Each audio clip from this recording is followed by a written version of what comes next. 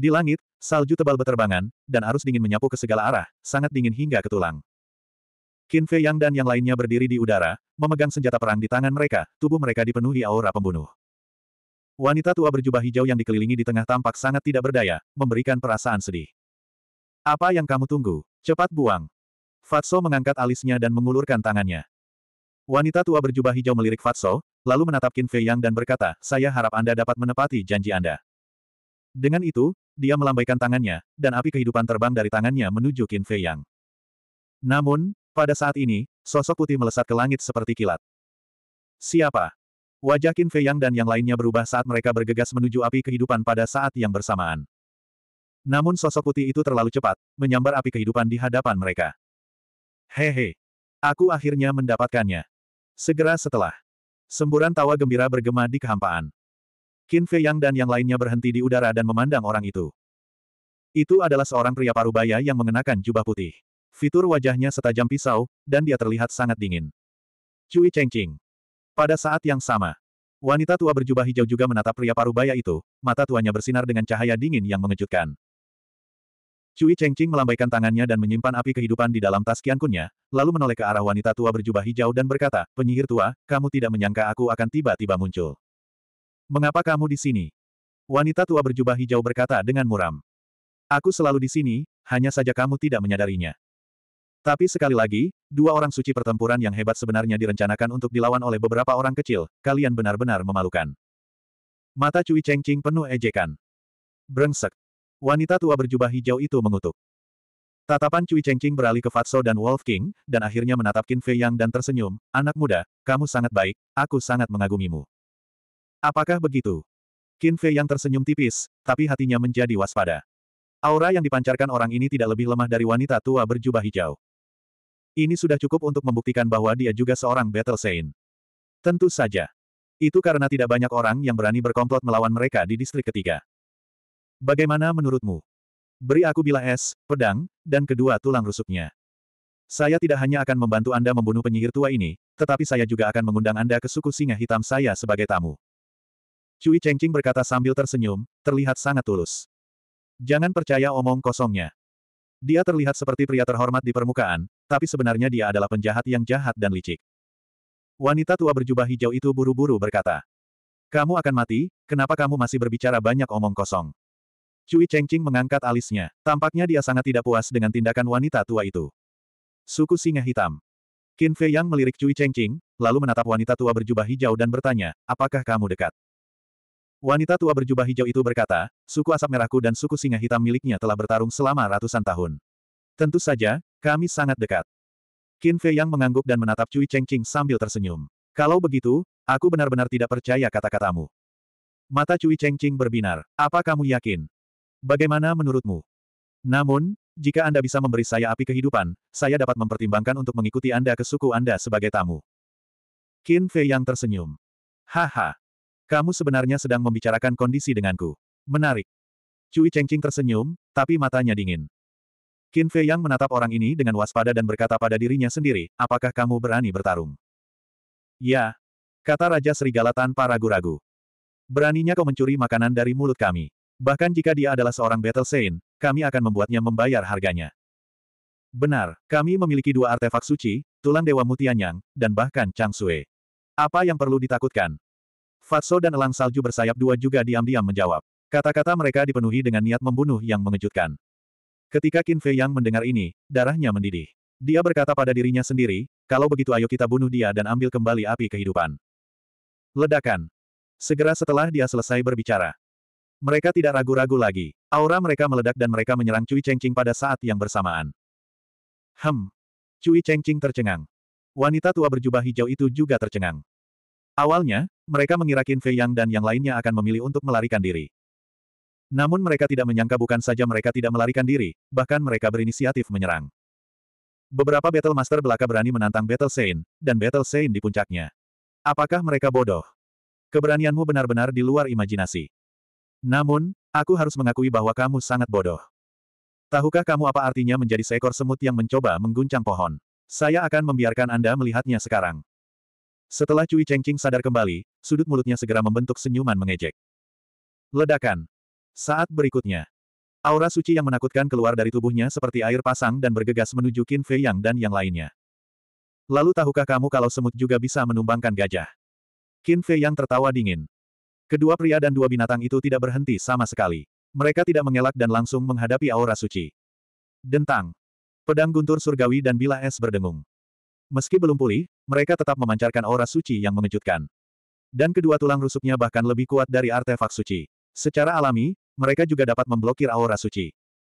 Pada saat ini, mereka seperti anak panah yang tajam, tak terhentikan, dengan cepat menutup jarak antara mereka dan Cui Chengqing. Hem. Melihat ini, mata Cui Chengqing juga menjadi serius. Meskipun dia tidak peduli dengan kekuatan Qin Fei Yang dan yang lainnya, dia tidak berani meremehkan sifat mematikan dari empat artefak suci. Untungnya, Qin Fei Yang dan yang lainnya tidak cukup kuat untuk memulihkan artefak suci. Kalau tidak, bahkan dia hanya bisa melarikan diri. Ledakan. Tubuhnya bergetar dan gelombang battle ki kuning keluar dari tubuhnya. Dalam sekejap mata, sebuah tinju besar muncul entah dari mana. Bagaikan gunung dengan aura menakutkan yang mampu merobohkan gunung dan menjungkir balikkan lautan. Puncak es dengan ketinggian berbeda di dekatnya runtuh seperti pohon mati. Suara ledakannya memekakkan telinga. Karena kamu begitu keras kepala, pergilah ke neraka. Tinju penghancur langit.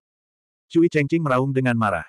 Rambut hitamnya berkibar. Tinju besar itu bergetar hebat di kehampaan. Dengan aura destruktif, ia meledak ke arah Qin Fei Yang dan yang lainnya. Aku akan memblokirnya. Kalian bekerja sama dan pastikan untuk melukainya dengan serius dalam satu pukulan. Qin Fei Yang diam-diam berteriak. Tidak, kamu terlalu lemah sekarang. Aku akan memblokir tinju ini. Elang salju bersayap ganda buru-buru berkata. Cui Chengqing juga seorang Sein pertempuran bintang satu, namun dibandingkan dengan wanita tua berjubah hijau yang terluka parah, dia jauh lebih kuat. Dan tinju penghancur langit ini, jika dilihat dari auranya, pastilah seni pertarungan yang unggul. Battle Saint Bintang 1 dengan peningkatan Battle Art yang unggul. Dengan kata lain, kekuatan tinju Cui Chengqing sebanding dengan kekuatan Saint Pertempuran Bintang 4. Karena itu, Elang salju bersayap ganda khawatir dengan kekuatan Qin Fei Yang, dia mungkin tidak dapat memblokir pukulan ini. Jika dia tidak bisa memblokirnya, maka dia pasti akan hancur berkeping-keping. Tapi itu berbeda. Ia memiliki tingkat kultivasi yang lebih tinggi daripada Qin Fei Yang, Sekte Pertempuran Bintang 9. Dan sekarang, ia telah menguasai seni pertempuran yang sempurna, tubuh tirani Goshaok. Ditambah dengan pedang guntur surgawi, jika digunakan sekuat tenaga, peluang keberhasilannya pasti akan lebih tinggi daripada Qin Fei Yang. Namun, Qin Fei Yang tidak mendengarkannya dan langsung menggunakan langkah pantom untuk menyambut tinju tersebut. Dia secara alami tahu tentang kekhawatiran Dual Winged Snow Eagle dan sangat tersentuh. Karena ini berarti elang salju bersayap ganda telah sepenuhnya terintegrasi ke dalam tim kecil ini. Karena itu, dia tidak bisa membiarkan elang salju bersayap ganda mengambil risiko. Karena, meskipun elang salju bersayap ganda adalah sekte pertempuran bintang sembilan dan hanya berjarak satu wilayah kecil dari Cui Chengqing, perbedaan antara sekte pertempuran dan orang suci pertempuran terlalu besar. Tidak berlebihan. Jika tidak ada metode luar biasa atau bantuan eksternal, Sein pertempuran bintang satu bisa langsung membunuh sejumlah besar sekte pertempuran bintang sembilan. Karena itu, dia berani menyimpulkan bahwa elang salju bersayap ganda pasti tidak akan mampu menahan pukulan ini. Sedangkan baginya, meski budidayanya tidak sebaik elang salju bersayap ganda, namun dari segi metode, elang salju bersayap ganda bisa dikatakan tertinggal jauh. Misalnya, taktik kata pengembalian dapat mengabaikan penghalang antar alam dan secara langsung menantang alam yang lebih tinggi. Dan kemudian ada Chang Sui dan kastil kuno, yang merupakan objek dewa yang misterius dan tak terduga. Dan sekarang, dia telah menyatu dengan api kehidupan, dan dengan perlindungan taktik kata pertempuran, itu setara dengan tubuh abadi sejati. Oleh karena itu, dia sangat yakin bisa menahan pukulan Cui Chengqing. Namun, elang salju bersayap ganda sangat marah dengan hal ini. Bajingan ini, kenapa dia tidak mendengarkan nasihatnya? Pada saat yang sama, Cui Chengqing juga agak terkejut. Tapi segera setelah itu, wajahnya dipenuhi dengan rasa jijik. Dia tidak lagi memperhatikan Qin Fei Yang. Memadamkan. Dia mengambil langkah misterius, dan kecepatannya tiba-tiba berlipat ganda saat dia menyerang Fatso dan Wolf King. Di matanya, Qin Fei yang sudah mati, dan tidak akan ada kecelakaan. Hehe. Sepertinya dia benar-benar menganggap kita sebagai kesemek yang lembut sehingga dia bisa melakukan apa pun yang dia mau. Wolf King dan Fatso saling berpandangan dan tertawa sinis. Apa yang sedang terjadi? Bagaimana kamu masih bisa tertawa? Elang salju bersayap ganda melihat tingkah laku pria dan serigala itu dan merasa sedikit tidak nyaman. Anak muda, kamu masih terlalu muda. Kinzi kecil tidak pernah melakukan apa pun yang dia tidak yakin, jadi tidak perlu khawatir sama sekali. Ya, lakukan saja apa yang bos katakan. Wolf King dan Fatso menepuk kepala Dual Winged Snow Eagle, dan tanpa rasa takut menghadapi Cui Chengqing. Apakah begitu? Elang salju bersayap ganda memandang Qin Fei Yang dengan curiga, lalu mengikuti di belakang Fatso dan Raja Serigala dan menyapu menuju Cui Chengqing.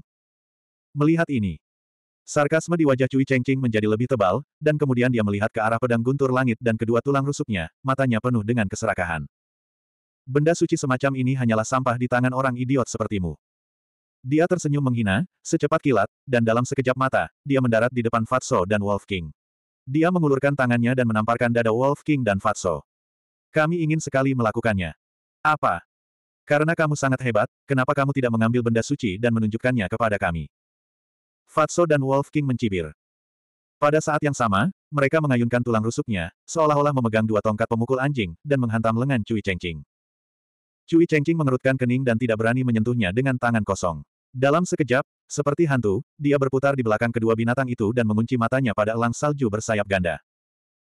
Elang salju bersayap ganda adalah sekte pertempuran bintang sembilan dan merupakan ancaman terbesar. Selama dia berhasil menyingkirkannya terlebih dahulu, itu sama saja dengan kemenangan. Sial, apa kamu ingin mati? Elang salju bersayap ganda secara alami tidak senang. Fatso dan Wolf King ada di depannya. Daripada berurusan dengan mereka terlebih dahulu, mereka ingin membunuhnya terlebih dahulu. Apakah menurut mereka penindasan itu mudah? Tubuh tiran Goshauk. Ia meraung, dan aura merah darah keluar dari tubuhnya. Dalam waktu kurang dari setengah kedipan mata. Bulu dan matanya berubah menjadi merah darah, seolah-olah diwarnai dengan darah. Lebih-lebih lagi. 792. Aura ini. Mungkinkah itu seni tempur yang sempurna? Cui Chengqing menatap elang salju bersayap ganda, tercengang. Setidaknya kamu memiliki mata yang bagus. Elang salju bersayap ganda mencibir. Mustahil. Bagaimana kombat art legendaris yang sempurna bisa ada di zona ketiga? Cui Chengqing tidak percaya. Pada saat yang sama, di langit, Qin Fei yang sangat dekat dengan tinju raksasa itu. Ledakan. Dia dengan tegas mengaktifkan seni tempur, mengangkat lengannya secepat kilat, dan membanting telapak tangannya ke udara. Menabrak. Cahaya keemasan yang menyilaukan tiba-tiba meraung dan berubah menjadi gelombang raksasa, bergegas menuju tinju. Pada saat itu, keduanya bertabrakan, dan ledakan yang mengguncang bumi terdengar. Qin Fei yang segera mengerang dan terbang jauh seperti meteorit. Darah terus muncrat dari mulutnya. Tangan kanannya, yang menggunakan return art, langsung hancur dan berubah menjadi kabut berdarah. Bahkan tubuhnya dengan cepat dipenuhi bekas luka berdarah. Darah mengucur seperti jaring laba-laba, dan itu pemandangan yang mengerikan. Ledakan. Retakan. Pada akhirnya, dia menabrak Gletser di kejauhan. Udara mengepul dan itu luar biasa. Dalam radius 10 mil, tanah retak dan gunung-gunung runtuh. Binatang buas yang tak terhitung jumlahnya juga terpengaruh. Mayat ada di mana-mana, dan Gletser berlumuran darah. Dalam sekejap mata, tempat itu berubah menjadi api penyucian. Terlalu mengerikan untuk dilihat. Pada saat yang sama, tinju raksasa itu juga hancur berkeping-keping. Setelah menyerang ke depan dalam jarak pendek, benda itu hancur berkeping-keping dengan suara keras. Engah. Saat seni tempur dihancurkan, Cui Chengqing memuntahkan seteguk darah dan wajahnya menjadi pucat. Ketidakpercayaan di matanya bahkan lebih kuat lagi. Dia sudah terkejut bahwa elang salju bersayap ganda telah menguasai seni tempur yang sempurna. Namun, dia tidak menyangka Qin Fei yang mampu memblokir seni tempurnya. Tidak. Itu tidak menghalangi. Itu sangat menghancurkan. Memblokir dan menghancurkan adalah dua hal yang sangat berbeda. Dari mana datangnya kelompok bajingan ini? Bagaimana mereka bisa memiliki keterampilan yang begitu mengejutkan? Bos. Pada saat yang sama, Fatso memandangi Gletser yang hancur dengan wajah khawatir. Meskipun dia percaya pada Qin Fei Yang, dia tidak bisa menahan perasaan cemas ketika melihat luka yang disebabkan oleh tinju penghancur langit pada Qin Fei Yang. Jangan khawatirkan dia untuk saat ini. Ayo ambil kesempatan ini untuk menyingkirkan bajingan itu. Raja Serigala menatap tajam ke arah Cui Chengqing, matanya bersinar dengan keganasan yang tak tertandingi. Pertama, elang salju bersayap ganda memperlihatkan seni pertarungannya yang sempurna. Kemudian, giliran Qin Fei Yang yang menunjukkan kekuatannya. Saat ini, Cui Chengqing sangat terguncang, jadi ini adalah kesempatan bagus. Ketika Fatso mendengar ini, dia menoleh untuk melihat Cui Chengqing dengan niat membunuh di matanya. Membunuh. Dengan raungan marah, dia menyerang Cui Chengqing bersama Wolf King. Elang salju bersayap ganda juga melancarkan serangan secepat kilat dan menerkam dengan ganas. Namun, Cui Chengqing tetaplah seorang Battle Saint. Entah itu pengalaman bertarungnya atau naluri bertarungnya, dia melampaui orang biasa. Saat Wolf King dan Fatso tiba di depannya dan menghancurkan tulang rusuknya, dia tiba-tiba sadar kembali dan buru-buru mundur. Serangan Wolf King dan Fatso meleset dan mereka berdua sangat marah. Kita harus tahu. Kesempatan ini ditukar dengan nyawa Qin Fei Yang. Bagaimana bisa gagal? Sama sekali tidak. Elang, cepat. Seorang pria dan satu serigala meraung, tanpa jeda, dengan kemarahan yang sangat besar, mereka menerkam ke depan lagi. Pada saat yang sama, mata elang salju bersayap ganda menjadi dingin, sayapnya mengepak dengan liar dan seperti seberkas cahaya, ia melesat keluar. Ketika ia mengejar wanita tua berjubah hijau itu, ia telah mengaktifkan jiwa pertempurannya. Jadi sekarang, kecepatannya beberapa kali lebih cepat dari Wolf King dan Fatso. Namun meski begitu, ia masih belum bisa mengejar Cui Chengqing. Meskipun elang salju bersayap ganda dan Cui Chengqing hanya berjarak satu wilayah kecil, kecepatan seorang malaikat perang dan master pertempuran sungguh berbeda. Misalnya, seorang master pertempuran bintang 9 bisa terbang sejauh 10 meter dalam setiap tarikan napasnya, dan Sein perang bintang 1 bisa terbang sejauh 50 hingga 60 meter. Kesenjangan di antara mereka bukanlah sesuatu yang bisa diimbangi oleh objek eksternal. Selain itu, Cui Chengqing juga menguasai seni pertarungan tambahan. Ini bukan cara untuk melanjutkan. Elang salju bersayap ganda sangat cemas. Wolf King dan Fatso bahkan lebih cemas. Melihat pria dan kedua binatang itu, wajah Cui Chengqing penuh dengan ejekan. Tapi di saat yang sama, hatinya juga cukup marah. Jika bukan karena pedang perang dan kedua tulang rusuk itu, membunuh pria dan dua binatang ini semudah membalik tangannya. Tidak akan seperti sekarang, di mana tangan dan kakinya diikat. Tiba-tiba, dia sepertinya memikirkan sesuatu dan semangatnya terangkat. Bajingan kecil itu pasti sudah mati. Saat aku menemukan bila es itu, kalian semua akan pergi ke mata air kuning untuk menemaninya. Tunggu saja, kamu akan segera putus asa. Haha. Cui Chengqing tertawa keras, berubah menjadi seberkas cahaya, dan bergegas menuju gletser yang rusak. Fatso, Wolf King, dan Snow Eagle bersayap ganda saling berpandangan, ekspresi mereka muram saat mereka buru-buru mengejarnya. Di sisi lain, wanita tua berjubah hijau melihat ke belakang sekelompok orang, matanya berkedip-kedip. Tiba-tiba, dia tersenyum sinis, mendarat di gletser di bawah, dan diam-diam mengikuti. Jelas sekali. Dia masih ingin memanfaatkan situasi ini. Sangat cepat. Cui Chengqing tiba di atas gletser yang pecah dan melihat ke bawah. Tepat di bawahnya, ada lubang pembuangan yang sangat besar. Di dasar lubang pembuangan, Qin Fei yang terbaring diam di genangan darah, tanpa tanda-tanda kehidupan. Bila es juga ada di sisinya. Dia benar-benar sudah mati. Cui Chengqing sangat gembira, dia menoleh dan menatap Fatso dan Raja Serigala di belakangnya, dan bergegas menuju Qin Fei yang seperti kilat. Bos! Qin si kecil. Setelah beberapa napas, Fatso dan Wolf King juga naik ke langit di atas lubang pembuangan. Melihat Qin Fei yang terbaring berlumuran darah, mereka tiba-tiba meraung dan bergegas menuju lubang pembuangan dengan putus asa. Pada saat ini, Cui Chengqing telah mendarat di depan Qin Fei Yang. Dia menatap Fatso dan yang lainnya, dengan senyum kemenangan di wajahnya, dan berkata, jangan khawatir, aku akan mengirimmu untuk menemaninya segera. Setelah mengatakan itu, dia menundukkan kepalanya, membungkuk, dan mengulurkan tangan untuk mengambil bila es itu. Sua. Tapi saat ini, Qin Fei yang tiba-tiba membuka matanya, dan dua cahaya dingin meledak. Pada saat yang sama, tangan kirinya yang berdarah meraih bila es dan menusuk perut bagian bawah Cui Chengqing seperti kilat. Udara dingin yang menusuk tulang dan ketajaman yang menakutkan langsung menghancurkan laut Kicui Chengqing. Ah! Jeritan yang mengental darah segera bergema di langit. Setelah laut Ki hancur, tidak peduli seberapa tinggi budidayanya, itu setara dengan orang cacat. Fatso dan Wolf King tercengang. Setelah sekian lama, Qin Fei yang hanya memalsukan kematiannya. Wanita tua berjubah hijau yang mengikuti mereka mendengar teriakan Cui Chengqing dan segera berhenti. Wajah lamanya penuh kejutan.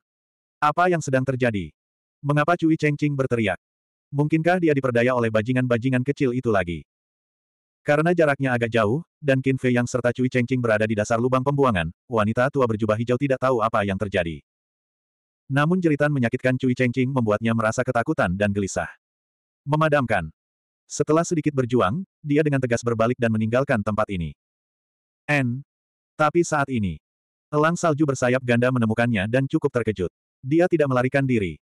Fatso juga mengikuti pandangan elang salju bersayap ganda dan menatap wanita tua berjubah hijau. Dia mencibir, sepertinya dia ingin menjadi oriole di belakang belalang yang mengintai jangkrik. Karena dia ingin mati, kita harus memenuhi keinginannya. Gemuk, elang, pergilah dan bunuh dia. Aku akan pergi dan membantu Qin si kecil. Mata Wolf King bersinar dengan niat membunuh. Tidak masalah. Fatso dan elang salju bersayap ganda tertawa, berbalik ke udara, dan mengejar wanita tua berjubah hijau. Wolf King terus bergegas menuju lubang pembuangan. Di dasar lubang pembuangan, Cui Chengqing berhenti berteriak dan menatap Qin Fei Yang dengan tidak percaya. Kenapa kamu tidak mati? Mengapa? Qin Fei yang terkekeh dan dengan paksa mencabut bila esnya. Jantung Cui Chengqing tiba-tiba menyemburkan darah seperti kolom, dan dia pingsan dengan lemah. Qin Fei yang perlahan bangkit. Luka di sekujur tubuhnya membuatnya meringis kesakitan. Namun, dia berkemauan keras dan masih sanggup menanggungnya. Setelah bangun, dia menarik napas dalam-dalam, menatap Cui Chengqing, dan berkata, karena saya telah menyatu dengan api kehidupan. Apa? Wajah Cui Chengqing berubah, dan dia berkata dengan kaget, kamu juga memiliki api kehidupan. Qin Fei yang berkata, apakah ini aneh? Bukankah ini aneh? Cui Chengqing bertanya, bagaimana orang biasa bisa memperoleh harta seperti api kehidupan? Namun kemudian, dia berkata tidak, meskipun Anda telah menyatu dengan api kehidupan dan memiliki tubuh yang abadi, masih ada batasannya. Setelah batas ini terlampaui, Anda tetap akan mati. Dan tinju penghancur langit adalah kartu as terkuatku, dan aku adalah seorang biksu perang. Api kehidupan saja tidak cukup untuk membuatmu tetap hidup. Pasti ada faktor lain. Kata Cui Chengqing. Kamu cukup pintar. Ya, selain api kehidupan, saya juga memiliki seni ilahi. Perpaduan seni ilahi dan api kehidupan dapat memberi saya tubuh abadi yang nyata. Kata Qin Fei Yang. Seni ilahi. Cui Chengqing tampak terkejut dan berkata, siapa kamu? Qin Fei Yang berkata, Qin Fei Yang. Apa? Kamu adalah Qin Fei Yang yang membantai semua makhluk di area pertama dan kedua. Mata Cui Chengqing membelalak. Hem, Qin Fei Yang mengangkat alisnya dan berkata dengan marah, siapa yang memberitahumu? Perbuatan jahatmu sekarang diketahui oleh semua orang di area ketiga. Apakah kamu masih membutuhkan orang lain untuk memberitahuku? Cui Chengqing mencibir. Qin Fei Yang mengerutkan alisnya. Siapa yang menyebarkan rumor? Nyonya misterius. Tapi Nyonya misterius itu berkata bahwa dia tidak akan mengganggunya setidaknya selama lima tahun. Jadi dia seharusnya tidak datang ke area ketiga untuk menyebarkan rumor tersebut. Mungkinkah itu Muking? Dengan dendam antara dia dan Muking, sangat mungkin dia sengaja menipunya. Saat Qin Fei Yang sedang berpikir keras, mata Cui Chengqing berkedip sedikit. Dia mengangkat tangannya dan meraih tas Qian Kun miliknya, dan api kehidupan segera keluar dari tas Qian Kun miliknya. Kemudian, dia mengambil api kehidupan dan memasukkannya ke dalam mulutnya. Kamu mendekati kematian. Melihat Cui Chengqing akan berhasil, Wolf King bergegas dari langit, meraih tulang rusuknya, dan memukul kepalanya dengan tongkatnya. Ah! Retakan! Diiringi jeritan melengking, kepala Cui Chengqing meledak seperti semangka, dan dia mati di tempat. Sampah. Raja Serigala memandang Cui Chengqing dengan jijik, meraih api kehidupan, dan memandang Qin Fei Yang, kamu terlalu ceroboh, bagaimana jika dia benar-benar menelannya? Kamu masih berani membicarakan aku. Aku menciptakan peluang bagus untukmu, tapi bagaimana denganmu? Anda bahkan tidak melukai sehelai rambut pun di kepalanya. Jika aku tidak mendengar kata-katanya dan memalsukan kematianku di sini untuk menyergapnya, belum lagi api kehidupan, aku bahkan tidak akan bisa mendapatkan sehelai rambut pun. 793. Mendengar kata-kata Qin Fei Yang, Raja Serigala tertawa malu. Qin Fei Yang memutar matanya, mengeluarkan pil penyembuh dan menelannya. Kali ini, lukanya sangat serius. Tidak hanya tubuhnya yang retak, bahkan organ dalamnya pun terluka parah. Namun, setelah menyatu dengan api kehidupan, setiap sel di tubuhnya dipenuhi dengan energi kehidupan yang sangat besar. Dengan bantuan pil penyembuh, nyawanya tidak dalam bahaya. Tapi untuk jangka waktu tertentu, dia pasti tidak akan bisa bertarung lagi. Ah! Tidak lama kemudian. Jeritan menyakitkan datang dari jauh. Itu adalah teriakan wanita tua berjubah hijau. Qin Fei Yang mengangkat kepalanya dan menatap Wolf King, cari tas Qian Kun Cui Chengqing. Tas Qian Kun. Wolf King sedikit terkejut, dan kemudian matanya berbinar. Ia buru-buru berjongkok di tanah dan mengulurkan cakarnya untuk mencari pakaian Cui Chengqing. Segera. Ia mengeluarkan tas Qian Kun, memeriksanya sebentar, dan berkata dengan gembira, ada begitu banyak tanaman obat berumur sepuluh ribu tahun. Apakah begitu? Qin Fei Yang melihatnya dengan curiga dan mengambil tas Qian Kun untuk memeriksanya. Memang ada tanaman obat berumur sepuluh ribu tahun di dalamnya. Perkiraan awal menunjukkan jumlahnya lebih dari 200 batang. Tidak buruk. Qin Fei yang tertawa. Selain tanaman obat, ada juga beberapa koin emas. Ini bisa dianggap sebagai keuntungan yang tidak terduga. Tiba-tiba, Wolf King mengerutkan kening, Qin Zi kecil, ada masalah yang tidak dapat saya pecahkan. Apa masalahnya? Qin Fei yang melihatnya dan bertanya. Penyihir tua itu bisa saja menggunakan gerbang teleportasi untuk melarikan diri, tapi kenapa dia tidak membukanya? Wolf King curiga. Hem. Qin Fei yang tercengang. Kata-kata Wolf King benar-benar mengingatkannya. Sebagai seorang santo perang, dia harus memiliki beberapa gerbang teleportasi setiap saat. Dan dalam proses mengejar wanita tua berjubah hijau itu, dia memiliki kesempatan untuk membuka gerbang teleportasi dan melarikan diri. Tapi kenapa dia tidak mengeluarkan gerbang teleportasi sampai dia mati? Setelah beberapa saat, Wolf King menoleh untuk melihat ke arah Fatso dan elang salju bersayap dua dan bertanya dengan curiga, aneh, mengapa Fatso dan elang tua belum kembali. Qin Fei Yang juga mengerutkan kening. Tempat asal teriakan itu sekitar 2-3 mil jauhnya dari sini. Secara logika, Fatso dan Sui Ying seharusnya sudah tiba sekarang dan bergabung dengan mereka. Mungkinkah sesuatu telah terjadi? Ayo pergi dan lihat. Hati Qin Fei yang tenggelam. Dia menyeret tubuhnya yang lelah dan terbang. Beberapa saat kemudian, Pria dan serigala itu melihat mayat berlumuran darah tergeletak di gletser yang pecah. Itu adalah wanita tua berjubah hijau. Namun, tidak ada tanda-tanda keberadaan Fatso atau Sui Ying di sekitarnya. Wolf King berkata dengan marah, ke mana perginya kedua bajingan itu. Suara mendesing. Tapi suaranya jatuh. Bersamaan dengan suara sesuatu yang menerobos udara, Fatih dan elang salju bersayap dua terbang dari atas gletser. Hem, Melihat Qin Fei Yang dan Raja Serigala berdiri di samping mayat wanita tua berjubah hijau, seorang pria dan seekor elang sedikit terkejut. Desir. Mengikuti dengan cermat. Mereka menukik ke bawah dan mendarat di depan Qin Fei Yang. Fatso langsung bertanya dengan prihatin, Bos, bagaimana lukamu? Aku tidak akan mati. Qin Fei Yang tersenyum dan mengerutkan kening, ke mana kamu pergi? Mendengar jawaban Qin Fei Yang, Fatso menghela nafas panjang dan berkata, kami pergi mencari tas Kunnya. Apa maksudmu? Qin Fei yang terkejut dan bertanya. Setelah membunuhnya, saya kira mungkin ada tanaman obat berusia 10.000 tahun di tas Qian Kunnya, jadi saya mencari di tubuhnya, tetapi saya tidak dapat menemukan tas Qian Kunnya. Elang tua dan kurasa dia mungkin tidak sengaja meninggalkannya saat melarikan diri, jadi kami berlari kembali untuk mencarinya. Hasilnya, kami menemukan beberapa pecahan tas Qian Kun di tempat dia bertarung dengan lelaki tua berjubah hitam itu. Kami menduga itu pasti hancur secara tidak sengaja saat dia bertarung dengan lelaki tua berjubah hitam itu. Kata Fatso. Jadi begitu. Qin Fei yang mengangguk menyadari. Pantas saja wanita ini tidak membuka portalnya. Ternyata tas Qian Kun hancur. Karena begitu tas Qian Kun dihancurkan, barang-barang di dalamnya juga akan hancur dan berubah menjadi ketiadaan.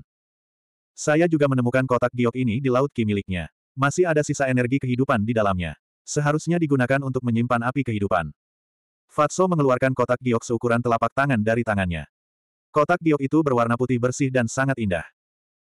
Qin Fei Yang melihat ke kotak giok dan tertawa, meskipun sayang sekali kami tidak mendapatkan tas Qian Kunnya, tapi bagaimanapun juga, kali ini kami dapat dianggap sebagai kemenangan besar. Segera pergi ke kastil dan hitung rampasan perang kali ini. Saya memperkirakan kita bisa mengumpulkan beberapa set bahan obat pil penciptaan kecil.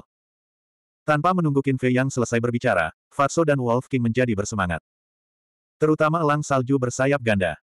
Tiba-tiba, Raja Serigala menatap api kehidupan di tangan Qin Fei Yang, memutar matanya, dan berbaring di tanah sambil menjatuhkan diri, berseru, Ayo, aku tidak tahan lagi. Apa yang sedang terjadi? Qin Fei Yang dan yang lainnya melihatnya dengan kaget. Saat aku bertarung dengan Cui Chengqing barusan, aku mengalami luka yang sangat parah. Aku harus menyatu dengan api kehidupan agar bisa diselamatkan. Wolf King berkata dengan putus asa. Qin Fei Yang, Fatso, dan elang salju bersayap ganda saling memandang dengan cemas. Saat itu, mereka semua hadir. Mengapa mereka tidak melihat orang ini terluka? Jika Anda menginginkan api kehidupan, katakan saja. Mengapa membuat alasan yang tidak masuk akal? Aiya, aku tidak tahan lagi. Qin Fei Yang, cepat selamatkan kaisar ini. Di masa depan, kaisar ini pasti akan melakukan yang terbaik untukmu sampai dia meninggal. Elang salju bersayap ganda juga tergeletak di tanah, merentangkan sayapnya, dan menatap Qin Fei Yang tanpa daya. Wajah Qin Fei Yang berkedut. Melihat elang salju bersayap ganda menirunya, Raja Serigala tidak senang. Dia berbalik dan bangkit, dengan marah berkata, apa gunanya ini? Bukankah segala sesuatunya harus didahulukan, dilayani terlebih dahulu? Lelucon yang luar biasa. Aku berkontribusi paling besar dalam merebut api kehidupan kali ini. Tentu saja itu harus menjadi milikku. Elang salju bersayap ganda juga mengepakkan sayapnya dan terbang ke langit, menatap Wolf King tanpa menunjukkan kelemahan apa pun. Apakah kamu di sini untuk melucu? Tanyakan pada Kinzi kecil dan gendut, apa yang kamu lakukan? Kenapa kamu bilang kamu berkontribusi paling besar? Kata Raja Serigala. Elang salju bersayap ganda berkata, kalau begitu beritahu saya, di mana kamu terluka. Mengapa saya tidak bisa melihatnya? Wolf King berkata dengan percaya diri, omong kosong, ini adalah cedera internal. Tentu saja Anda tidak dapat melihatnya. Saya juga mengalami luka dalam. Apakah Anda percaya? Kata elang salju bersayap ganda. Pembuluh darah Wolf King tiba-tiba menonjol, dan dia meraung, percayalah. Pergilah sejauh mungkin. Ayo, tunjukkan padaku cara kabur dulu. Elang salju bersayap ganda berteriak. Melihat serigala dan elang berdebat, Qin Fei yang benar-benar terdiam. Mereka bahkan mengungkit luka dalam. Badut yang luar biasa. Batuk. Qin Fei yang terbatuk, mengulurkan tangan dan menghentikan kedua binatang itu, dan berkata, jangan pikirkan itu. Setelah menyatu dengan api kehidupan, hanya satu orang yang dapat memperoleh manfaat. Sama seperti dia dan Fatih, hanya mereka yang mendapat manfaat saat ini. Namun jika tidak menyatu, semua orang dapat menyerap energi api kehidupan untuk menyembuhkan luka mereka. Jadi, kecuali jika itu adalah masalah hidup dan mati, dia tidak akan membiarkan siapa pun ikut campur dalam hal itu. Memadamkan. Setelah mengatakan itu, Qin Fei yang melambaikan tangannya dan mengirim Fatso dan Wolf King ke kastil. Api kehidupan. Api alkimia kelas 6. Pisau es senjata tingkat suci.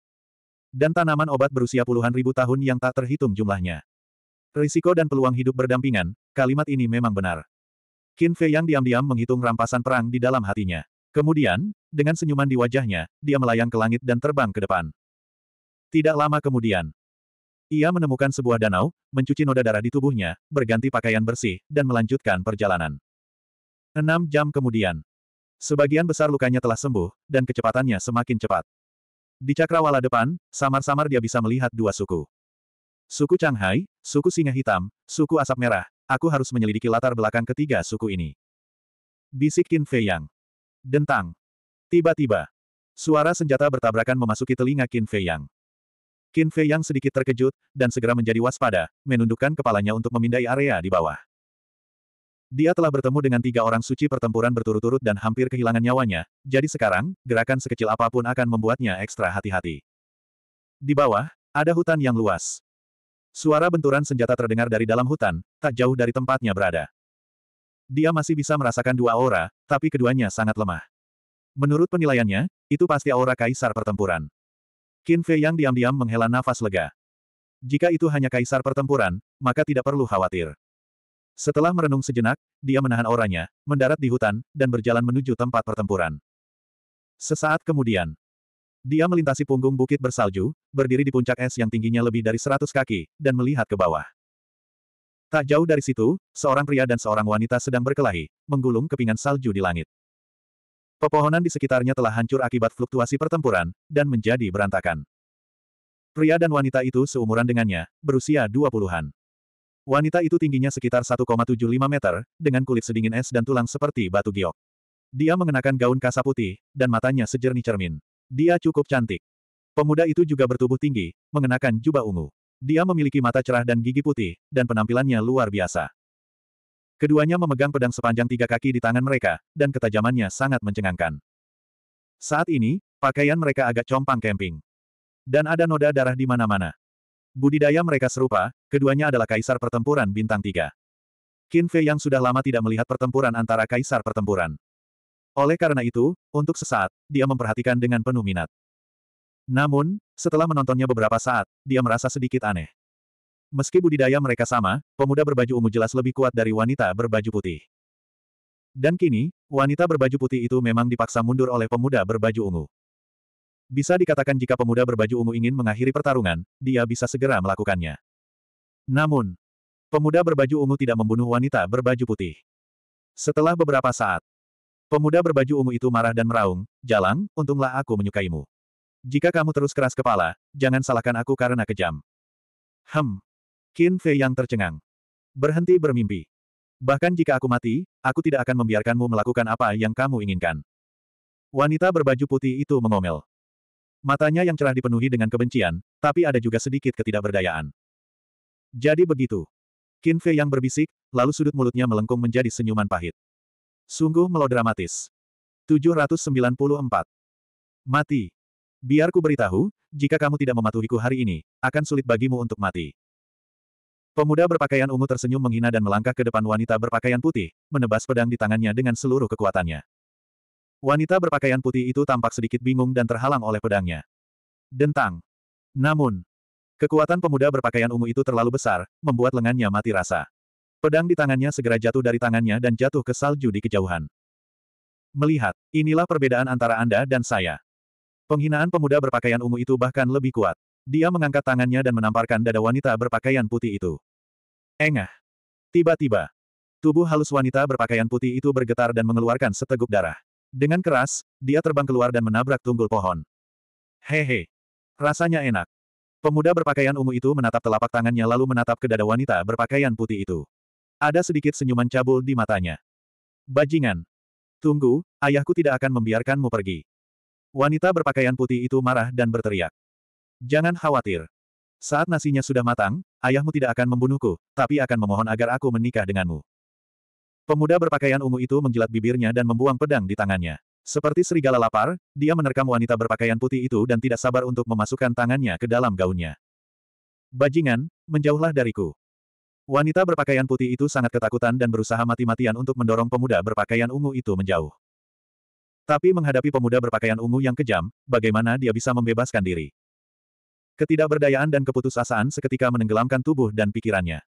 Aku penasaran, di dunia es dan salju ini, bisakah benda kecilmu menjadi keras? Tapi saat ini, suara lucu tiba-tiba terdengar dari samping. Siapa? Pemuda berpakaian ungu itu terkejut dan menoleh untuk melihat. Ia melihat tak jauh dari situ, sebenarnya ada seorang pemuda berpakaian putih yang muncul entah dari mana. Pemuda berpakaian putih ini tidak lain adalah Qin Fei Yang. Dia sangat muak dengan perilaku bullying seperti ini. Jadi, dia berdiri dan menghentikan perilaku buruk pemuda berpakaian ungu itu. Pada saat ini, Qin Fei Yang menyembunyikan auranya seperti orang biasa.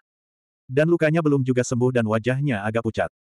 Pada pandangan pertama, dia seperti pemuda yang sakit. Pemuda berpakaian ungu melirik Qin Fei Yang, dan berkata dengan jijik, biar ku beritahu, jangan ikut campur dalam urusan orang lain. Tubuhnya masih menekan wanita berbaju putih itu dengan kuat, tidak memberinya kesempatan untuk melarikan diri.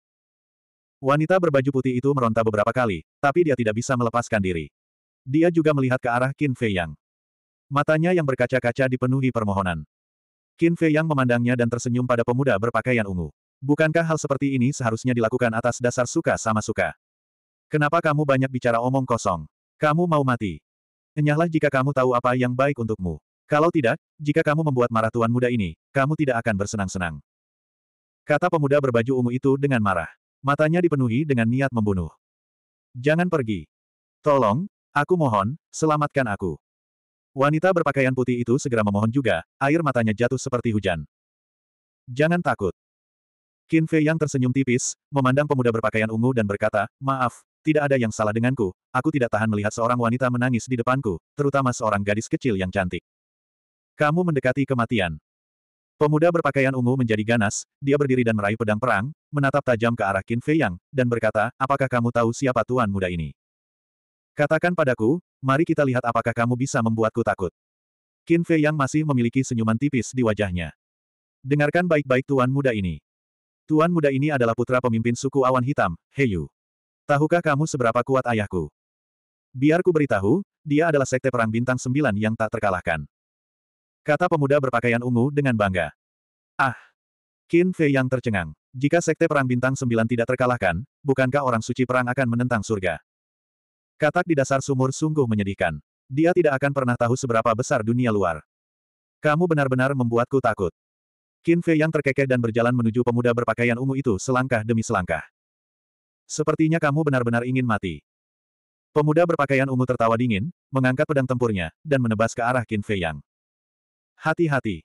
Wanita berpakaian putih yang meringkuk di sampingnya sangat ketakutan. Saat dia melihat pemandangan ini, ekspresinya berubah drastis saat dia buru-buru berteriak. Dentang. Tapi sebelum dia bisa menyelesaikan kalimatnya, Qin Fei Yang mengangkat lengannya, dan dengan sedikit mencubit jari telunjuk dan jari tengahnya, dia langsung menangkap bilah pedangnya. Apa? Pemuda berpakaian ungu dan wanita berpakaian putih langsung tercengang. Dia benar-benar memblokir pedang pertempuran dengan tangan kosong. Ini, ini, apakah ini mimpi? Saya tidak percaya. Pemuda berpakaian ungu itu meraung, ingin mencabut pedang pertempurannya. Tapi tidak peduli seberapa keras dia mencoba, dia tidak bisa menarik kembali pedang pertarungannya. Hanya karena ayahmu kuat bukan berarti kamu bisa melakukan apa pun yang kamu mau.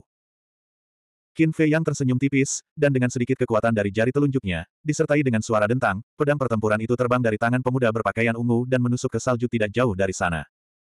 Pada saat yang sama, pemuda berpakaian ungu itu juga terpaksa mundur, dan lengannya yang memegang pedang mengeluarkan banyak darah. Bukankah kekuatan ini terlalu kuat? Wajah pemuda berpakaian ungu menjadi pucat saat dia menatap Qin Fei Yang dengan kaget. Wanita memang ditakdirkan untuk dicintai, bukan untuk melampiaskan nafsunya, paham. Qin Fei Yang berkata dengan ringan. Ya, ya, ya, aku tahu aku salah. Tatapan pemuda berpakaian ungu itu bergetar saat dia menganggukkan kepalanya berulang kali. Enyahlah. Qin Fei Yang melambaikan tangannya dan berkata. Pemuda berpakaian ungu itu buru-buru berbalik dan melarikan diri seolah dia telah diampuni. Dia bahkan tidak peduli dengan pedang pertarungannya. Kamu bajingan, beraninya kamu mengganggu nasib baik tuan muda ini. Tunggu saja, kamu akan segera selesai. Setelah berlari jauh, pemuda berpakaian ungu melihat bahwa Qin Fei yang tidak mengejarnya, jadi dia meninggalkan ancaman tanpa menoleh. Ah! Qin Fei yang tercengang. Beraninya dia mengancamnya. Dia benar-benar orang yang tidak takut mati. Namun, dia terlalu malas untuk mempedulikannya. Dia hanyalah seorang kaisar perang, apa yang bisa dia lakukan untuk menyakitinya? Bahkan jika pemimpin suku awan hitam datang, dia tidak akan bisa melakukan apa pun padanya. Segera. Pemuda berpakaian ungu menghilang dari pandangan Qin Fei Yang. Melihat pemuda berpakaian ungu itu pergi, wanita berpakaian putih itu akhirnya menghilangkan rasa takut di hatinya. Dia berdiri dan merapikan bajunya, dan berkata dengan penuh rasa terima kasih, terima kasih. Bukan apa-apa, bukan apa-apa. Qin Fei yang tersenyum tipis dan berbalik untuk pergi. Melihat itu, wanita berpakaian putih itu buru-buru berkata, tunggu, saya belum menanyakan nama kakak. Qin Fei Yang. Kata Qin Fei Yang tanpa menoleh. Namun setelah mengatakan itu, dia menyesalinya. Cui Chengqing pernah mengatakan bahwa rumor bahwa dia telah membunuh semua orang di area pertama dan kedua sudah diketahui semua orang di area ketiga. Dan wanita ini pasti mengetahuinya juga. Dia berbalik untuk melihat wanita itu, matanya berkedip-kedip. Qin Fei Yang. Pada saat yang sama, Wanita berpakaian putih itu juga memandang Qin Fei Yang dengan heran. Mata Qin Fei Yang berkedip dan berkata, apa yang ingin kamu katakan? Saya. Wanita berpakaian putih itu tergagap, terlihat agak gugup. Qin Fei Yang bertanya lagi, apakah menurutmu aku terlihat seperti Raja Iblis Pembunuh? Sama sekali tidak. Wanita berpakaian putih itu menggelengkan kepalanya dan berkata, tapi sekarang, semua orang membicarakan tentang bagaimana kamu membantai semua orang di area pertama dan kedua. Gosip adalah hal yang menakutkan. Qin Fei Yang menghela nafas dalam-dalam, berbalik, dan pergi dengan langkah besar. Melihat punggung Qin Fei Yang, wanita berpakaian putih itu meronta sejenak, dan berkata, Qin Dage, tunggu. Lalu, dia mengejarnya. Apakah ada hal lain? Qin Fei Yang berhenti dan berbalik menatapnya dengan curiga. Tidak peduli orang macam apa kamu, Qin Dage, aku harus berterima kasih dengan benar. Jadi, saya dengan berani mengundang Qin Dage ke suku saya sebagai tamu, dan saya berharap Qin Dage tidak menolak. Wanita berpakaian putih itu berkata dengan wajah penuh ketulusan. Ini. Qin Fei yang ragu-ragu. Jangan khawatir, ayahku dan anggota sukuku semuanya adalah orang-orang yang bersyukur, dan mereka tidak akan mengungkapkan identitasmu. Wanita berpakaian putih itu sepertinya telah melihat kekhawatiran Qin Fei Yang, dan berkata lagi. Yah, kebetulan aku punya banyak pertanyaan, dan aku ingin bertanya padamu. Qin Fei Yang mengangguk dan tersenyum. Wanita berpakaian putih itu sangat gembira, dan dengan cepat berlari untuk mengambil pedang perang yang telah jatuh sebelumnya, lalu berlari ke arah Qin Fei Yang, dan berkata sambil tersenyum, sukuku tidak jauh di depan, Qin Dage, tolong. Qin Fei Yang tersenyum, berbalik, dan melangkah maju. Tapi saat dia berbalik, cahaya dingin tiba-tiba muncul di mata wanita berpakaian putih itu, dan lengan yang memegang pedang perang tiba-tiba terangkat, menusuk punggung Qin Fei Yang seperti kilat, dan menembus perut bagian bawahnya. Laut kinya juga langsung hancur. Langsung, Wajah Qin Fei yang memerah, dan dia memuntahkan seteguk darah. Wanita berpakaian putih itu tampak sangat ketakutan, dan dengan cepat mencabut pedang pertempurannya, dan mundur jauh. Qin Fei yang menatap luka di perut bagian bawahnya, dan untuk sesaat, dia merasa sulit percaya bahwa wanita ini benar-benar berkomplot melawannya. Seseorang harus mengetahuinya. Dialah yang telah menyelamatkan nyawa wanita berpakaian putih itu sebelumnya. Terlebih lagi, wanita ini tampak begitu baik dan murni. Desir. Dia tiba-tiba berbalik, menatap wanita berpakaian putih itu, dan berkata, ini yang disebut rasa terima kasihmu. Seolah takut dengan tatapan Qin Fei Yang, wanita berpakaian putih itu terus mundur, dan berkata, kamu membunuh begitu banyak orang, dosamu sangat besar, dan kamu pantas mati, saya melenyapkan kejahatan bagi orang-orang. Terlebih lagi, penguasa kota-kota Tian yang telah memberikan hadiah padamu. Karunia. Qin Fei Yang tertegun sejenak sebelum dia mengejek, saya pikir menyingkirkan kejahatan bagi orang-orang itu palsu. Saya, 500 miliar koin emas, sejenis pil api kelas 6. Kata wanita berpakaian putih itu. Saya sangat berharga. Qin Fei yang tertawa. Dia tidak mati bahkan setelah bertemu dengan tiga orang suci pertempuran bintang satu yang hebat, dan sekarang dia benar-benar jatuh ke tangan kaisar pertempuran bintang tiga, sungguh sebuah lelucon. Tiba-tiba, matanya meledak dengan niat membunuh yang mengejutkan. Dentang. Sambil berpikir, Chang Sue muncul, melesat melintasi langit seperti kilat, dan memasuki hati wanita berpakaian putih itu. Ah! Dengan jeritan yang membekukan darah, wanita berpakaian putih itu tewas di tempat, dan darah berceceran setinggi tiga kaki. Meskipun laut Ki-nya hancur, dan dia setara dengan orang cacat, mengendalikan Chang Sui tidak memerlukan pertempuran Ki, dan hanya membutuhkan pemikiran. Tidak peduli seberapa baik penampilan seseorang di permukaan, mereka tidak bisa dipercaya dengan mudah. Melihat mayat wanita berpakaian putih itu, Qin Fei yang tidak bisa menahan diri untuk tidak menghela nafas panjang. Ini adalah harga dari mempercayai seseorang dengan mudah. Namun, setelah menyatu dengan api kehidupan, hancurnya Laut Ki bukanlah cedera yang fatal. Lebih-lebih lagi, dia masih memiliki pil Laut Roh, dan selama dia pulih untuk jangka waktu tertentu, Laut Ki-nya akan dapat pulih. Setelah itu, 795. Kinsi kecil, apakah wanita itu cantik? Begitu mereka memasuki kastil, Raja Serigala mendekati Qin Fei Yang dan bertanya secara diam-diam. Qin Fei Yang tertegun dan bertanya dengan bingung, apa maksudmu? Kamu selalu waspada, tapi kali ini kamu jatuh ke tangan seorang wanita. Jadi kami berpikir dia pasti sangat cantik. Raja Serigala terkekeh. Eh. Qin Fei yang terkejut dan menatap Fatso dan yang lainnya. Mata semua orang penuh ejekan. Wolf King mendesak, beritahu kami, kami benar-benar penasaran. Wajah Qin Fei yang menjadi gelap, dan dia berkata dengan marah, sudah cukup, siapa yang tidak melakukan kesalahan.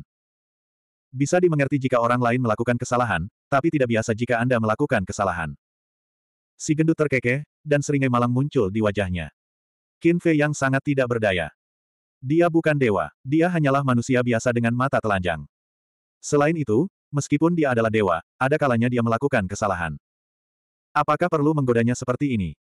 Dia terlalu malas untuk berbicara omong kosong. Dia langsung duduk bersila di tanah, meminum pil laut roh, dan mulai memperbaiki laut kinya. Melihat ini, Fatso dan yang lainnya tidak bisa menahan tawa. Fatso diam-diam berkata, menurutmu apakah sebaiknya kita membiarkannya begitu saja? Omong kosong, tentu saja kita tidak bisa membiarkannya begitu saja. Lu Hong mendengus dingin. Lemak itu sedikit terkejut. Dia memandang Lu Hong sambil bercanda dengan senyuman penuh arti di wajahnya. Tidak lama setelah Qin Fei Yang memasuki kastil, sekelompok orang terbang dengan agresif. Orang yang memimpin adalah pria kekar. Tingginya sekitar 1,9 meter dan mengenakan celana pendek hitam. Tubuh bagian atasnya terbuka, dan kulit perunggunya penuh dengan daya ledak. Matanya tajam, Ototnya melotot, dan seluruh tubuhnya memancarkan aura liar.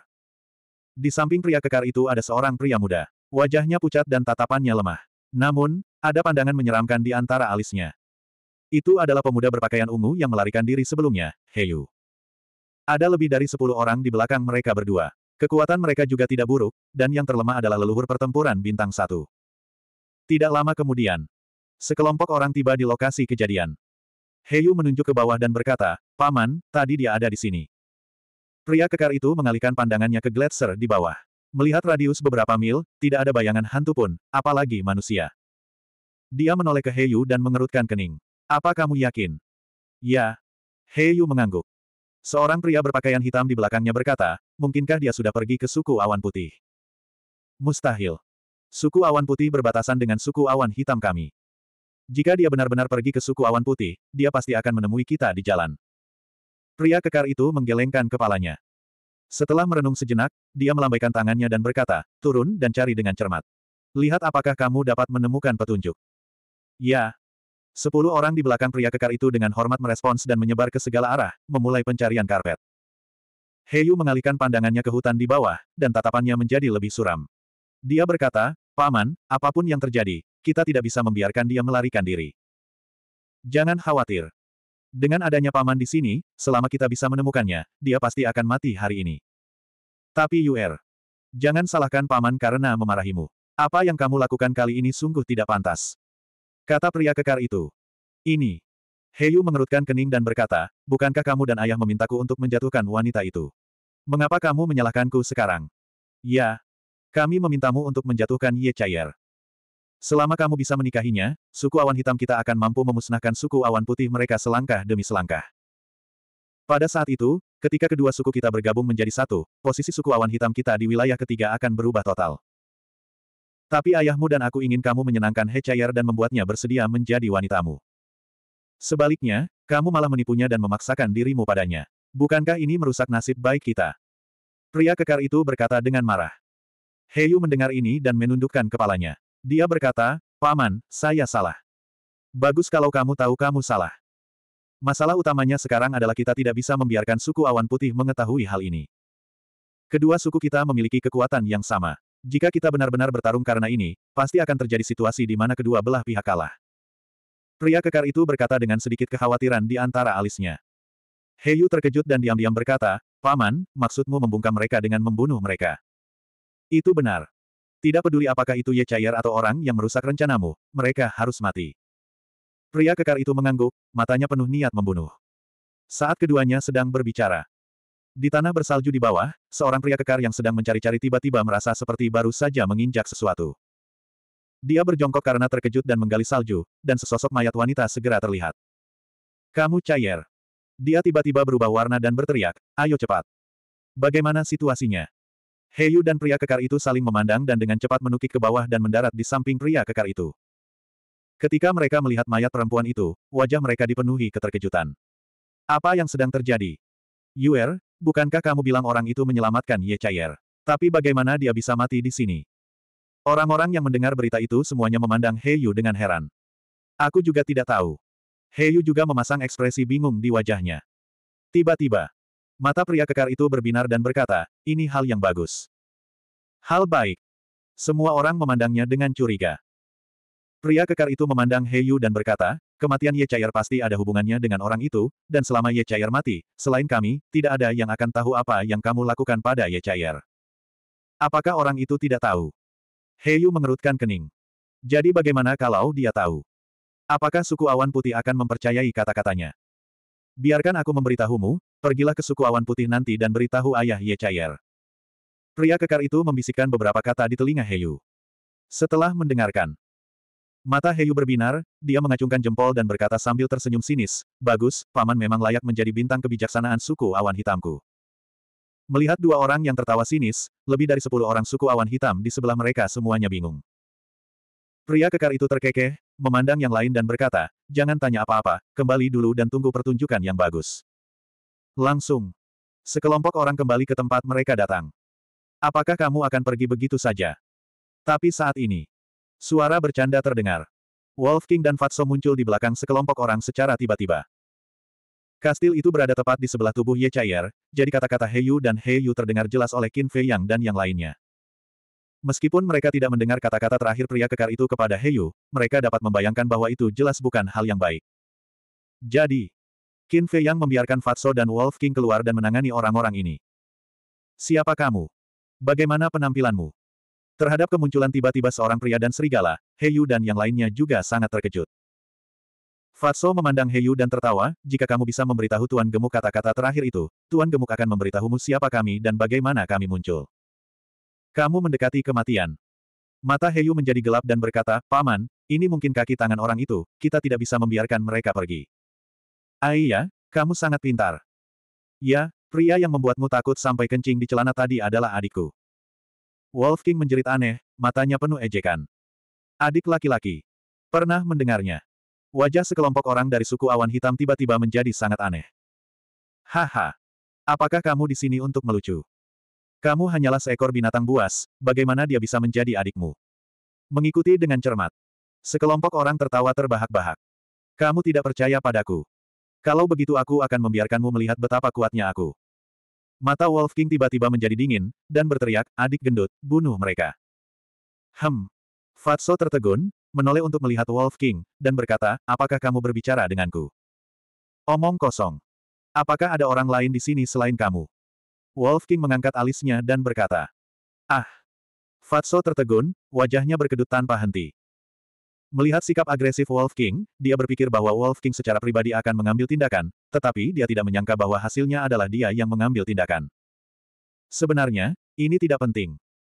Lagi pula, mereka berada di pihak yang sama, jadi siapa pun yang bergerak tetap sama. Namun, gelar adik gendut membuatnya sedikit tidak senang. Apa yang sedang kamu lakukan? Apakah salah jika kamu memanggilku adik? Melihat Fatso tidak bergerak untuk waktu yang lama, Wolf King mengangkat alisnya, matanya menunjukkan ekspresi tidak ramah. Siapa yang bilang? Merupakan kehormatan bagi Tuan Gendut untuk bisa menjadi adikmu, saudara serigala. Fatso mengecilkan lehernya dan segera meraung. Itu dia. Wolf King terkekeh, melambaikan cakarnya dan berkata, pergilah, biarkan mereka melihat kekuatan kita. Baiklah.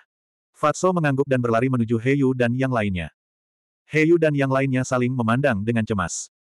Dari mana asal keduanya? Bukankah ini terlalu lucu? Menggertak. Tatapan pria kekar itu berubah dingin saat dia langsung menyerang dengan telapak tangannya. Pertempuran Ki yang gemilang melonjak saat menerkam ke arah Fatso. Fatso tidak memiliki aura apa pun saat ini, dan dengan tubuhnya yang bulat, dia tampak seperti orang yang tidak berguna. Jadi, bukan hanya pria kekar itu, bahkan Heyu pun tidak menaruh perhatian pada Fatso. Hai! Sekte Perang Bintang Tujuh, sangat mengagumkan. Pada saat yang sama, Fatso menatap pria kekar itu, wajahnya penuh senyuman. Memadamkan. Tiba-tiba, kecepatannya meningkat pesat. Seperti sambaran petir, dia dengan tenang menghindari pertempuran Ki dan langsung mendarat di depan pria kekar itu. Apa? Kecepatan ini. Ekspresi pria kekar itu berubah sambil meraung, tidak bagus, mereka berpura-pura menjadi babi untuk memakan harimau. Aku akan menahannya, kalian lari. Hanya dengan melihat kecepatan ini, pria kekar itu tahu bahwa Fatso dan Wolf King menyembunyikan kekuatan mereka. Ketika selusin anggota klan suku awan hitam mendengar kata-kata pria kekar itu, mereka terkejut dan buru-buru melarikan diri bersama Heyu. Aku khawatir kamu tidak akan bisa bertahan. Fatso memandangi orang-orang yang melarikan diri, tiba-tiba dia mengangkat tangannya yang seperti kipas dan meraih leher pria kekar itu. Jangan sombong, bagaimanapun juga, aku adalah Sekte Perang Bintang Tujuh. Pria kekar itu berteriak dengan marah, dan melayangkan pukulan ke arah Fatso tanpa mengelak. Hai! Fatso menyeringai, seni transformasi naga langsung diaktifkan, dan auranya melonjak. Apa? Aura ini, sebenarnya melampaui sekte perang sembilan bintang. Wajah pria kekar itu dipenuhi keterkejutan. Dia tidak berani melanjutkan pertarungan, menarik tinjunya, dan melarikan diri dengan panik. Untuk apa kamu lari? Sudut mulut Fatso terangkat, dia menggunakan kembali ke satu langkah dan mengejar pria kekar itu seperti kilat, menghantamkan tinjunya ke punggung pria kekar itu. Fatso yang telah berubah menjadi prajurit naga, entah itu kekuatan pertahanannya atau kekuatan serangannya, itu akan meningkat secara eksponensial. Fatso sendiri adalah sekte perang bintang 6, dan seni transformasi naga adalah seni pertempuran yang sempurna. Oleh karena itu, kekuatan bertarungnya saat ini telah melampaui sekte perang sembilan bintang. Bagaimana pria kekar itu bisa menahan pukulan yang melampaui sekte perang sembilan bintang? Ledakan. Di tempat. Pria kekar itu terlempar karena pukulan itu, organ dalamnya pecah, dan dengan jeritan darah yang mengental, dia terbang secara horizontal dan menabrak punggung bukit bersalju di depannya. Dengan suara gemuruh yang keras, pegunungan bersalju itu runtuh dan menguburnya. Kamu bahkan tidak bisa menahan satu pukulan pun. Fatso menggelengkan kepalanya dan mencibir, dia mengangkat kepalanya dan menatap Heyu dan yang lainnya. Seorang pria berpakaian hitam membuka gerbang teleportasi, dan sekelompok orang bersiap untuk melarikan diri melalui gerbang teleportasi. Sebelum kita melarikan diri, apakah kita harus mendapatkan izin dari Tuan Gemuk? Fatso mencibir, dia mengangkat tangannya dan melambaikannya. Black Dragon Battle Key muncul, dan seperti ular piton hitam, ia meraung dan bergegas ke depan. Ledakan. 796. Sampah. Fatso tersenyum menghina, menarik kembali lengannya, berbalik dan berjalan ke arah Wolf King. Dia tertawa dan berkata, ya, Tuan Gendut itu hebat, kan? Huh, itu hanya sekelompok ikan kecil. Apa yang bisa dibanggakan? Wolf King memutar matanya ke arahnya dan berbisik, Kinzi kecil, itu sudah cukup. Bawa kami ke kastil. Sebelum suaranya menghilang. Fatso dan Wolf King menghilang ke udara, seolah-olah mereka telah menguap dari dunia, tanpa meninggalkan jejak. Namun, tidak lama setelah mereka menghilang, sesosok tubuh berdarah merangkak keluar dari gunung bersalju yang runtuh. Itu adalah pria kekar. Melirik ke tanah bersalju yang kosong, dia segera membuka portal dan naik ke dalamnya. Saat berikutnya, dia mendarat di depan gerbang suatu suku. Dua pria jangkung kekar berdiri di kedua sisi gerbang. Begitu mereka melihat pria kekar itu, wajah mereka berubah. Mereka bergegas maju dan bertanya dengan heran, ada apa denganmu? Pria kekar itu tidak menjawab, tapi bertanya dengan cemas, apakah Yuer dan yang lainnya sudah kembali? Saya tidak melihatnya. Kedua pria itu menggelengkan kepala. Hati pria kekar itu tenggelam. Dia berkata, bahwa saya menemui kepala suku. Baiklah baiklah. Kedua pria itu buru-buru membantu pria kekar itu berdiri. Salah satu dari mereka segera menggendong pria kekar itu di punggungnya dan bergegas masuk ke dalam suku. Segera. Kedua pria itu sampai di sebuah bangunan kayu di tengah suku. Pintu bangunan kayu itu ditutup. Pria kekar itu menggendong pria kekar itu di punggungnya dan bergegas masuk. Kenapa kamu begitu panik? Suara tidak senang terdengar di bangunan kayu. Di tengah aula, ada kulit binatang berwarna putih. Seorang pria parubaya berbaju putih sedang duduk bersila di atas kulit binatang dengan mata tertutup. Dia kurus, tingginya sekitar 1,8 meter, dan fitur wajahnya yang dingin memiliki keagungan yang luar biasa. Pria ini adalah kepala suku awan hitam. Pria kekar itu berkata dengan cemas, kakak kedua, apakah Yuer kembali? Hem. Kepala suku awan hitam tertegun dan membuka matanya. Saat dia melihat pria kekar penuh bekas luka, wajahnya tiba-tiba berubah. Dia buru-buru bangkit dan berjalan ke sisi pria kekar itu. Melihat pria kekar itu, dia bertanya dengan heran, kakak, apa yang terjadi padamu? Pria kekar itu meraung, jawab aku dulu, apakah Yuer sudah kembali? Tidak. Pemimpin kelompok awan hitam menggelengkan kepalanya. Ini sudah berakhir. Wajah pria kekar itu langsung berubah pucat.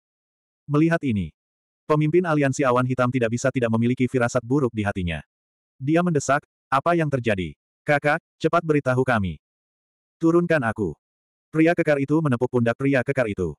Pria kekar itu berjongkok. Ketika kaki pria kekar itu menyentuh tanah, pria kekar itu berbalik dan menopang pria kekar itu.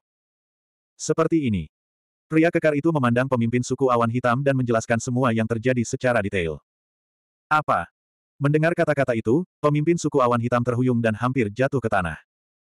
Kakak kedua, ini kesalahan kakak karena tidak bisa melindungi Yuer. Jika kamu ingin memukul atau memarahiku, jangan ragu untuk melakukannya.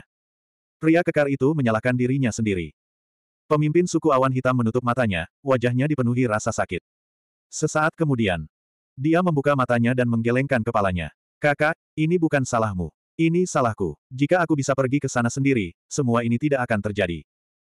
Tetapi, pria kekar itu ingin mengatakan sesuatu, tetapi pemimpin suku awan hitam mengulurkan tangannya dan berkata, kakak, itu sudah terjadi. Tidak perlu berdebat tentang siapa yang benar dan siapa yang salah. Hal terpenting saat ini adalah membalaskan dendam semua orang.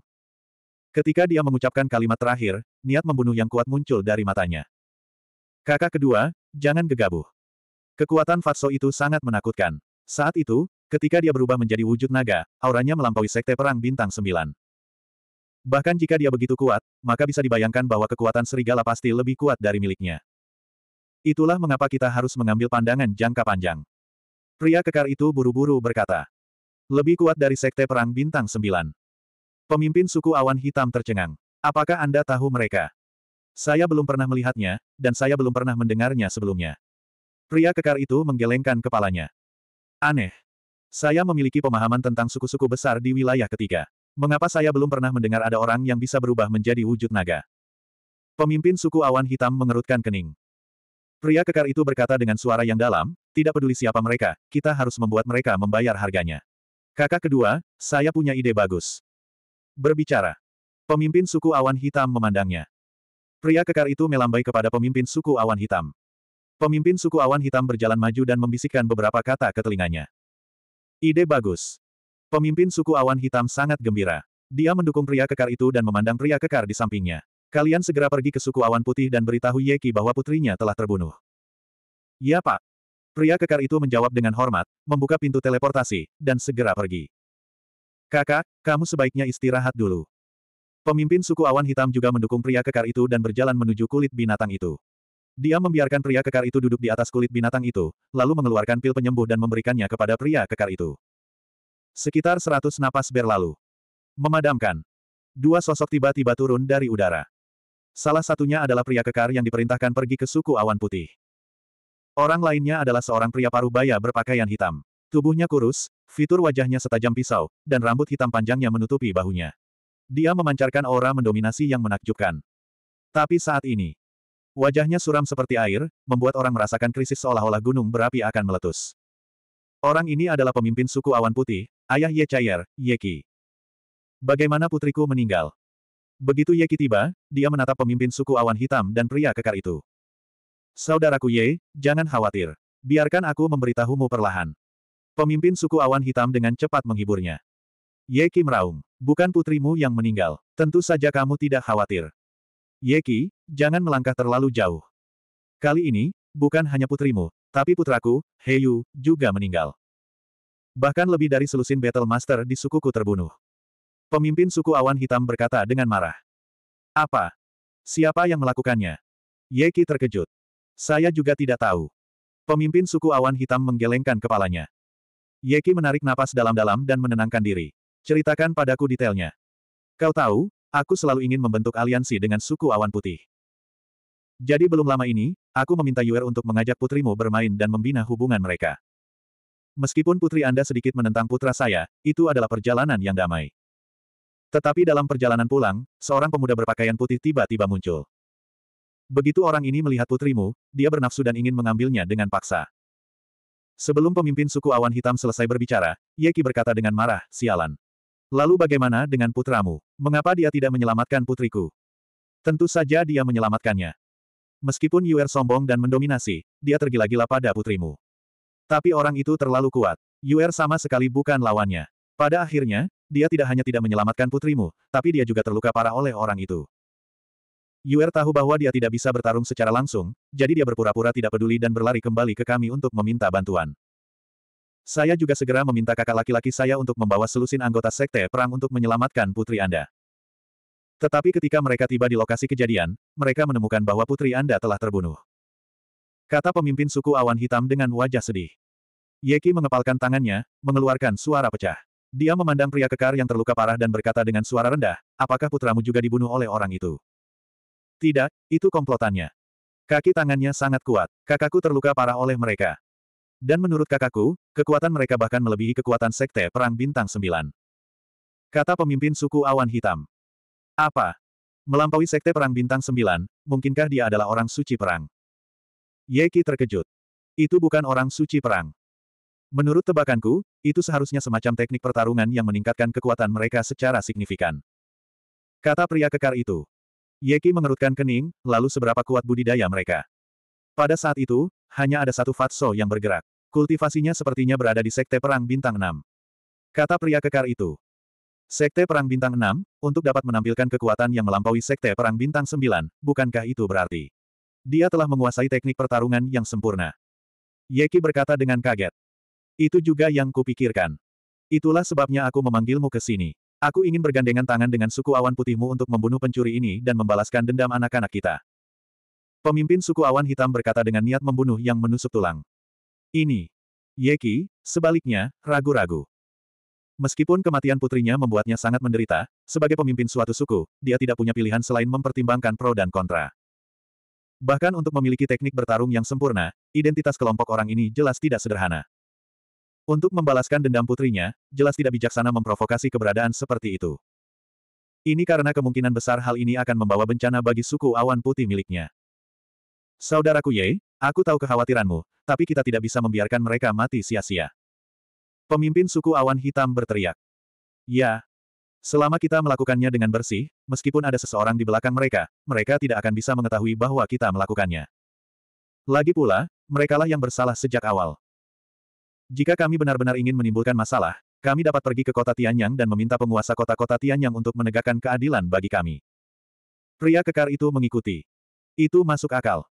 Yeki mengangguk, dan berkata, baiklah, mari bergandengan tangan untuk membunuh pencuri ini. Segera bawa saya ke lokasi kejadian. Pernah mendengarnya. Secercah senyuman licik terlihat di mata pemimpin suku awan hitam. Kemudian, dia memandang pria kekar itu dan berkata, kakak, bisakah kamu melakukannya? Ya, Pria kekar itu mengangguk, bangkit dengan susah payah, membuka portal, dan berjalan masuk bersama kedua pemimpin itu. Di saat berikutnya, ketiganya turun ke atas lokasi kejadian. Cair. Ketika dia melihat Ye Cair terbaring di salju, tubuhnya membekuk kaku, Yeki langsung berteriak sedih. Suara mendesing. Mereka bertiga mendarat di samping Ye Cair. Pemimpin suku awan hitam memandang Ye Cair dan menghela nafas, ada banyak goresan di tubuhnya. Jelas bahwa sebelum dia meninggal, dia dengan paksa Maksudnya sudah jelas dengan sendirinya. Sebelum dia meninggal, Ye Chaier, dipermalukan, oleh Qin Fei Yang. Namun, pemimpin suku awan hitam dan pria kekar itu sebenarnya tahu bahwa goresan ini disebabkan oleh Heyu. Tapi Yeki tidak tahu. 798. Di dalam kastil. Apa yang sedang terjadi? Fatso dan Wolf King saling berpandangan ketika mereka mendengar raungan Yeki.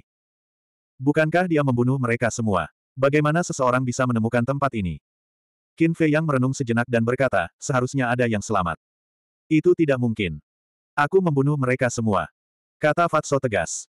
Qin Fei Yang meliriknya dan berkata, jangan khawatir, mari kita bicarakan hal ini setelah saya memulihkan lautan ki saya. Kemudian dia menutup matanya dan melanjutkan menyembuhkan lukanya. Di luar. Setelah menunggu lama, Ye Qi berjongkok kesakitan dan menatap wajah pucat Ye Chaier. Jangan khawatir, aku akan membalaskan dendamu. Mereka pasti sudah melarikan diri. Saudaraku Ye, sepertinya kita harus mengirim semua orang dari dua suku kita untuk menemukan mereka. Kata pemimpin suku awan hitam. Yeki mengertakkan gigi dan berkata, kalau begitu, ayo kita temukan.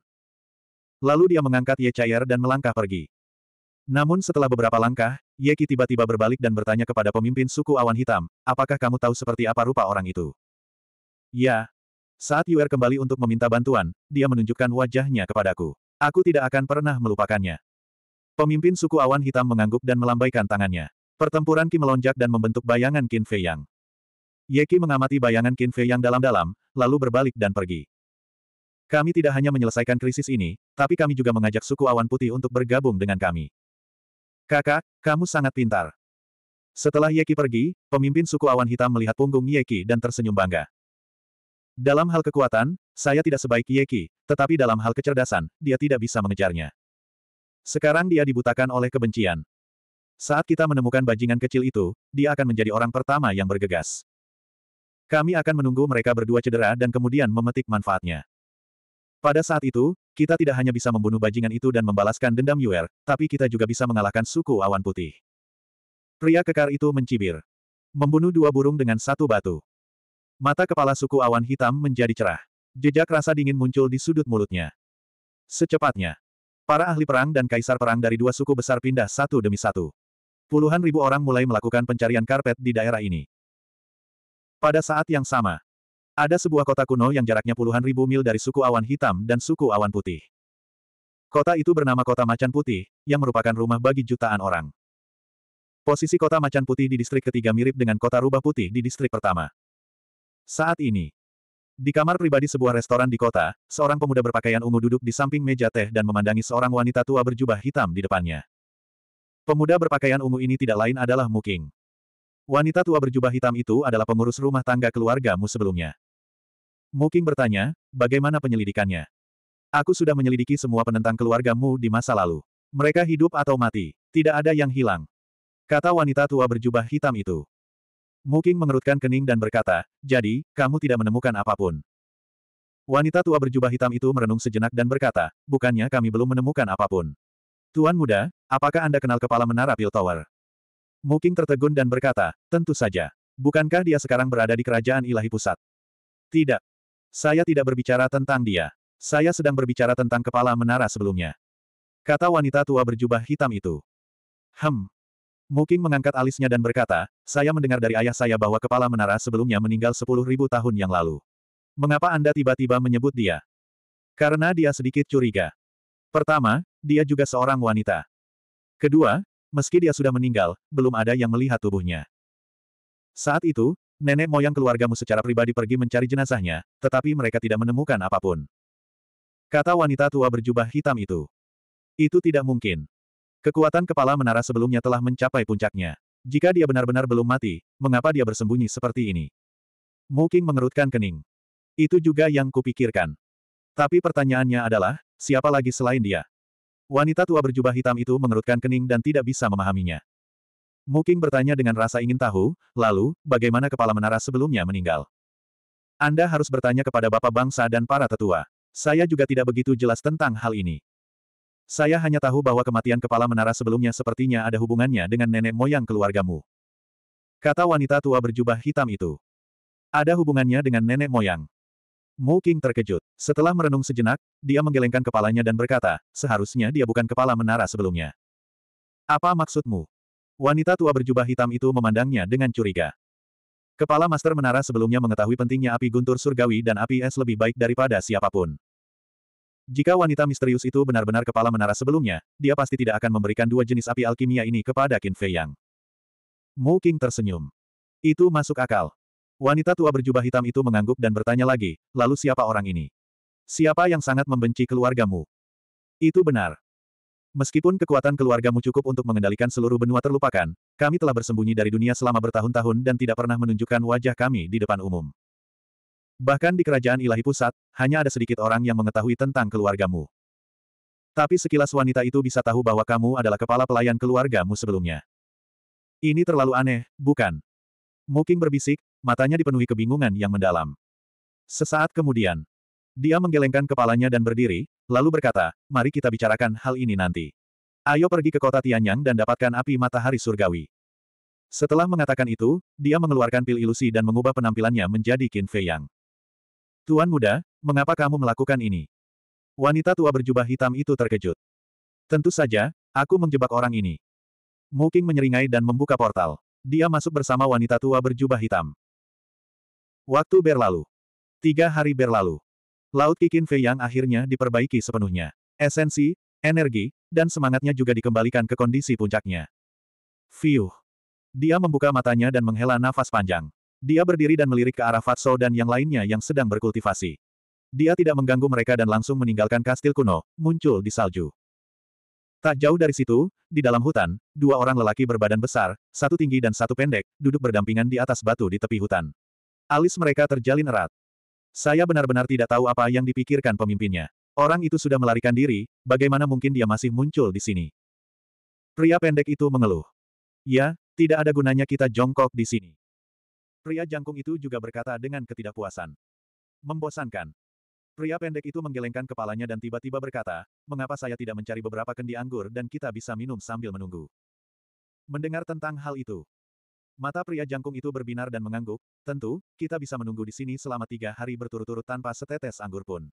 Mulutku sangat kering. Juga, ambilkan beberapa pon dendeng untuk menemani anggur. Oke, kamu lihat, aku akan segera kembali. Pria pendek itu terkekeh. Saat dia bangun, dia melihat Qin Fei yang berdiri di atas salju. Matanya membelalak dan dia berkata dengan heran, apakah itu dia? Siapa ini? Pria jangkung itu dengan curiga bangkit dan melihat ke arah pandangan pria pendek itu. Wajahnya tiba-tiba melonjak karena ekstasi. Ya, itu dia. Potret yang diberikan pemimpin kepada kami sama persis dengan dia. Saya tidak menyangka dia benar-benar muncul di sini. Kali ini kami telah memberikan kontribusi yang besar. Segera beritahu pemimpinnya.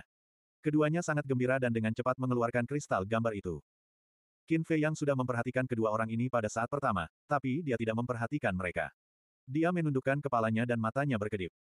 Meskipun Ye Chair memang dibunuh olehnya, apa yang disebut pelecehan, tidak ada sama sekali.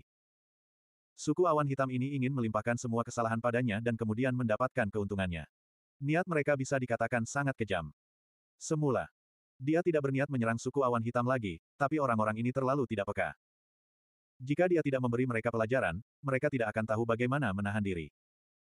Cahaya dingin melintas di matanya saat dia melayang ke langit dan memandangi dua suku di depannya. Ledakan.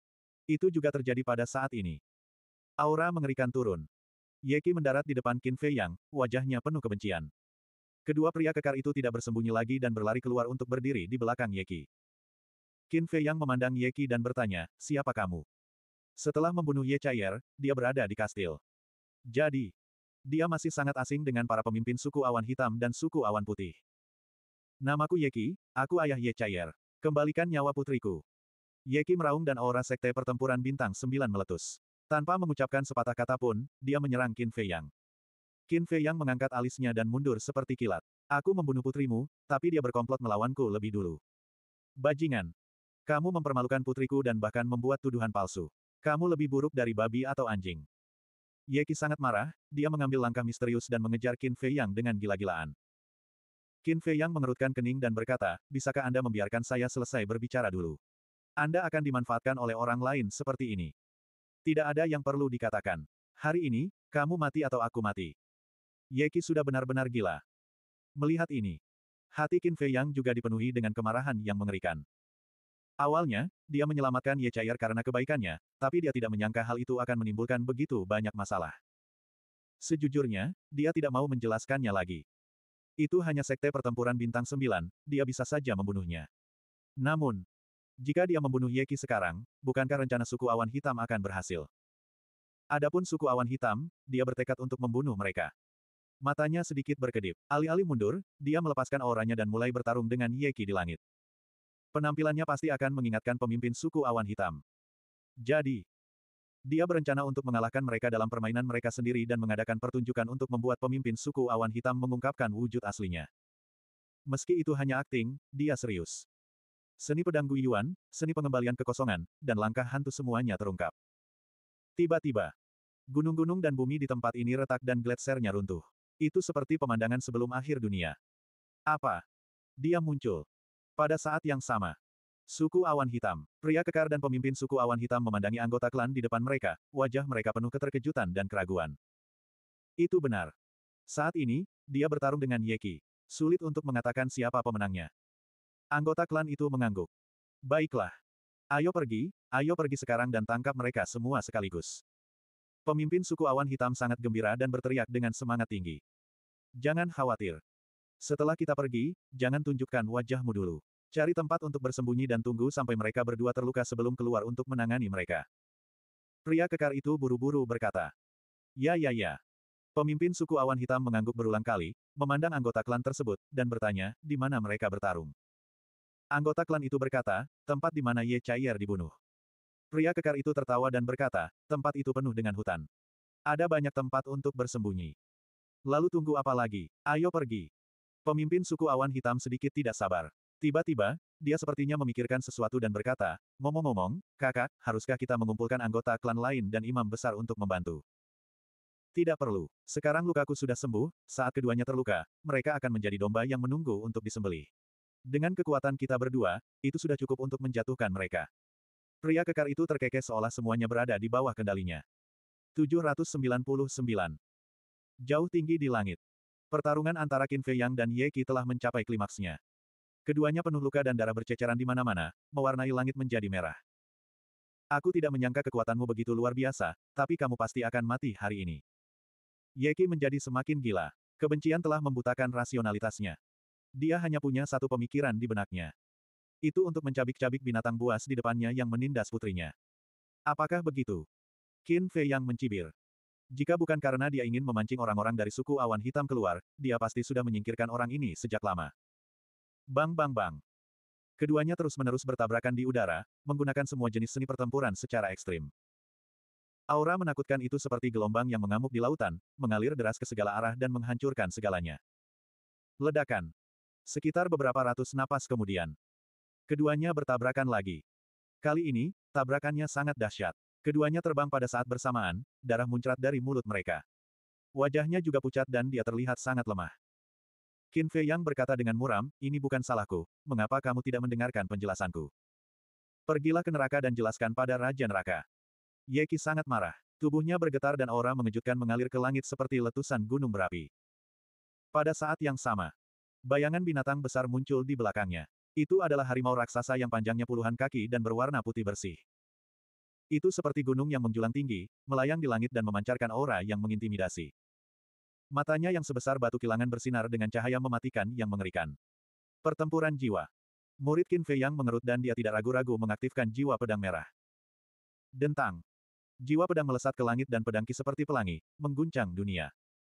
Mengaum. Dentang. Saat berikutnya, jiwa pedang merah dan harimau raksasa bertemu di langit.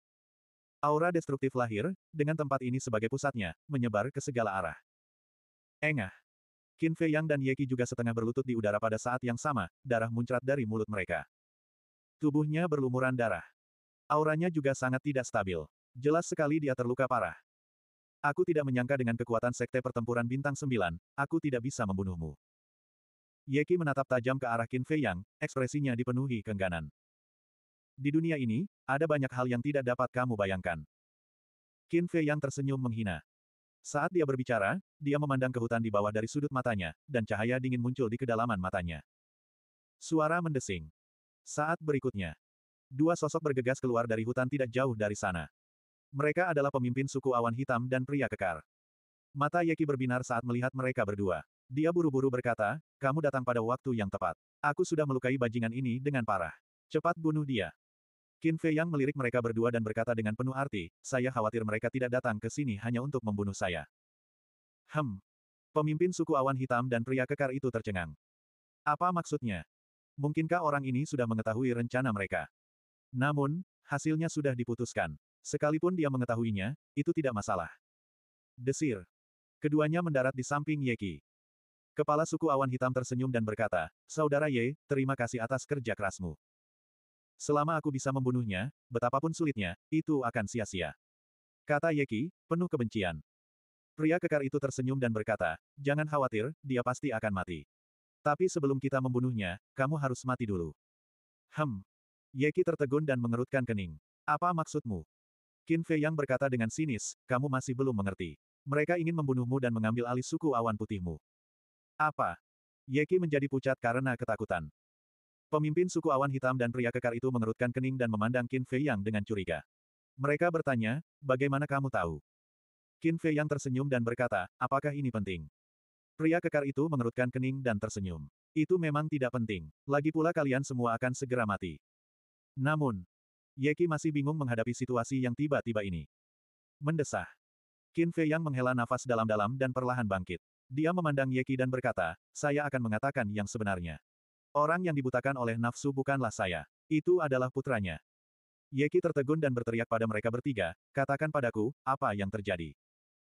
Pada saat yang sama, Kedua pria kekar yang pertama kali menemukan Qin Fei yang juga menyadari ada sesuatu yang tidak beres dan diam-diam mundur, ingin kembali ke suku awan putih untuk mencari bala bantuan. Namun, pemimpin suku awan hitam dan pria kekar telah memperhatikan mereka. Pria kekar itu segera menoleh untuk melihat mereka berdua dan berkata, jika kamu tidak ingin mati, patuhlah berdiri di sana dan jangan bergerak. Keduanya menjadi kaku dan tidak berani bergerak. Wajah mereka dipenuhi ketakutan. Karena, mereka hanyalah Sekte Perang Bintang Satu, sedangkan pria kekar itu adalah Sekte Perang Bintang Tujuh. Membunuh mereka semudah membalikkan tangan. Tapi melihat semua ini, mata Qin Fei yang samar-samar mengandung sedikit ejekan.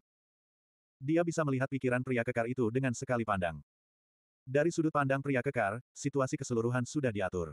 Tidak ada yang bisa menghentikan rencana untuk mencaplok suku awan putih. Adapun dua pria kekar, meskipun mereka berasal dari suku awan putih, setelah aneksasi, mereka akan menjadi bagian dari suku awan hitam. Tentu saja. Jika mereka berdua biasa saja, mereka tidak akan mempedulikan mereka dan hanya akan membunuh mereka. Tapi keduanya adalah Sekte Perang Bintang Satu. Dan untuk memelihara Sekte Perang, seseorang harus mengeluarkan banyak uang dan tenaga. Sayang sekali jika membunuh mereka. Karena itulah pria kekar itu menjaga mereka berdua. Setelah itu, Qin Fei Yang memandang Yeki. Sebenarnya, saat itu, He Yu ingin memperkosa putrimu. Saya kebetulan bertemu dengannya dan menyelamatkannya. Tetapi yang tidak saya duga adalah putri Anda akan membalas kebaikan dengan permusuhan dan berkomplot melawan saya di belakang saya. Tentu saja aku harus membunuhnya. Setelah itu, ketika orang-orang dari suku awan hitam mengetahui bahwa putri Anda telah meninggal, mereka memutarbalikkan kebenaran dan mengatakan bahwa saya ingin berkomplot melawan putri Anda. Alasan mengapa mereka melakukan ini adalah agar kedua belah pihak menderita. Cara ini, mereka tidak hanya bisa membunuhku dan membalaskan dendam Heyu, mereka juga bisa membunuhmu bersama-sama. Selama kamu mati, suku awan putih akan menjadi milik mereka. Kata Qin Fei Yang. Apa? Wajah Yeki tidak bernyawa. Dia memandang pemimpin suku awan hitam dan berkata, jadi, putramu yang mendekati putriku di masa lalu juga sudah direncanakan. Haha. Karena kamu sudah membukanya, tidak ada yang disembunyikan. Itu benar. Dahulu kala, saya ingin mencaplok suku awan putih Anda. Tapi aku tahu kamu pasti tidak akan menyerah begitu saja, jadi aku membiarkan Yuer mendekati putrimu. Tapi yang tidak kuduga adalah Yuer akan begitu impulsif. Dia menipu putrimu dan membawanya dengan paksa. Yang lebih tidak saya duga adalah bajingan kecil ini akan keluar di tengah jalan dan merusak perbuatan baik anak saya. Tetapi ada pepatah yang mengatakan, gunung dan sungai tidak ada habisnya, tapi selalu ada cahaya di ujung terowongan. Dia benar-benar membunuh putrimu. Tentu saja, saya harus menggunakan ini untuk memenuhi ambisi saya. Pemimpin suku awan hitam terkekeh. Meskipun kematian Heyu membuatnya sedikit sedih, ada baiknya mengorbankan seorang putra untuk mencaplok suku awan putih dan memenuhi keinginannya yang telah lama diidam-idamkan. Brengsek. Kenapa kamu tidak memberitahuku sebelumnya? Yeki meraung ke arah Qin Fei Yang. Awalnya aku ingin memberitahumu, tapi kamu tidak mengizinkanku. Siapa yang harus disalahkan? Qin Fei Yang mengangkat bahu. Saya membencinya. Yeki meraung, wajahnya penuh penyesalan. Kepala suku awan hitam memandang Yeki dengan jijik. Dia menoleh untuk melihat Qin Fei Yang dan berkata, Nak, aku sangat penasaran. Kamu jelas-jelas menyelamatkan Ye Chaier, tapi mengapa dia membalas kebaikanmu dengan permusuhan dan berkomplot melawanmu? Ya mengapa? Putriku tidak akan pernah menggigit tangan orang yang memberinya makan. Ye Qi meraung. Kenapa lagi? Pasti setelah Yuer pergi, dia bernafsu terhadap kecantikan Ye Chaier dan ingin melakukan sesuatu yang buruk. Pada akhirnya, Ye Chaier lebih memilih mati daripada menurutinya. Ini membuatnya marah, jadi dia dengan kejam membunuh Ye Chaier. Pria kekar itu mencibir. Wajah Qin Fei yang berkedut. Bagaimana imajinasi orang ini bisa begitu kaya? Dia mengamati pria kekar itu, sudut mulutnya sedikit terangkat, dan berkata, apakah menurutmu kamu sangat pintar? Pria kekar itu memandangnya dengan jijik dan berkata, ini semua ideku. Bagaimana menurutmu? Tepuk. Qin Fei yang mengangkat tangannya dan bertepuk tangan. Dia menggelengkan kepalanya dan mendesah, sungguh menyedihkan katak di dalam sumur. Apa katamu? Wajah pria kekar itu menjadi gelap. Orang ini mengira dia sangat pintar, tetapi dia tidak tahu bahwa di mata orang lain, dia hanyalah badut yang main-main. Qin Fei Yang mengabaikannya dan menatap Ye Qi, berkata, putrimu berkomplot melawanku karena dia tahu identitas asliku. Identitas sebenarnya. Pemimpin suku awan hitam dan pria kekar itu terkejut. Mungkinkah orang ini benar-benar mempunyai latar belakang yang kuat? Pria kekar itu bertanya, siapa kamu? Tidak masalah siapa aku, karena kamu akan segera mati. Qin Fei Yang tersenyum. Mati. Keduanya saling memandang dan tidak bisa menahan tawa seolah-olah mereka sedang melihat orang idiot. Kamu ingin membunuh kami dalam kondisimu saat ini. Pria kekar itu mencibir. Belum lagi kamu, meskipun kamu memanggil kedua temanmu ke sini, mereka tidak akan bisa kembali hidup-hidup hari ini karena aku di sini. Pemimpin suku awan hitam berkata dengan bangga. Kamu sangat percaya diri. Qin Fei yang tercengang. Ya, aku yakin. Kedua temanmu memang sangat kuat hingga bisa melukai kakakku dengan serius, tapi kakakku hanyalah sekte perang bintang tujuh. Dan aku adalah sekte perang bintang sembilan. Di depanku, mereka bahkan tidak bisa menahan satu pukulan pun. Pemimpin suku awan hitam berkata dengan nada menghina, penuh percaya diri. Mendengar perkataanmu, kedua temanku pasti sangat marah saat ini. Qin Fei yang terkekeh. Pemimpin suku awan hitam berkata, kalau begitu panggil mereka. Kebetulan saya bisa menangkap kalian semua dalam satu gerakan. Baiklah, aku akan melakukan apa yang kamu inginkan. Mata Qin Fei yang berkilat, dan sambil berpikir, Raja Serigala dan gendut muncul dari udara tipis. Seperti yang diharapkan. Mata pria dan serigala itu dipenuhi amarah. Ledakan. Di saat yang sama, mereka berubah, dan aura mereka tiba-tiba berlipat ganda. Wolf King menatap pemimpin suku awan hitam dengan arogan dan berkata, Anjing tua, apakah kamu sangat arogan? Melihat transformasi Fatso dan Wolf King, pemimpin suku awan hitam juga cukup terkejut. Tapi segera, kejutan ini digantikan oleh rasa jijik yang kuat. Dia memandang Wolf King dan mencibir, membunuhmu seperti menyembeli anjing. Tidak, kamu adalah anjing serigala besar. Anjing serigala besar. Ledakan. Tentu saja. Raja serigala sangat marah. Ia melambaikan cakarnya dan mengeluarkan tulang rusuknya. Menatap pria kekar itu, ia berkata, terakhir kali kami ceroboh dan membiarkanmu melarikan diri karena keberuntungan. Tapi kali ini, bahkan jika Tuhan turun, dia tidak akan bisa menyelamatkanmu. Segera setelah ia selesai berbicara. Ia menggunakan air escape step dan mendarat di depan pria kekar itu dalam sekejap. Ekspresi pria kekar itu berubah. Dia buru-buru mundur karena ngeri dan berteriak, kakak kedua, selamatkan aku. Hanya dengan dia. Wolf King menghina. Kamu mendekati kematian. Pemimpin suku awan hitam berada tepat di sebelah pria kekar itu. Melihat ini, dia langsung menyerang Wolf King. Sampah. Wolf King melambaikan tulang rusuknya dan menghantamkannya langsung ke pergelangan tangan pemimpin suku awan hitam. Ah! Dengan teriakan, pemimpin suku awan hitam dikirim terbang di tempat. Pergelangan tangannya juga meledak dalam sekejap. Daging dan darah berceceran di mana-mana. Sangat kuat.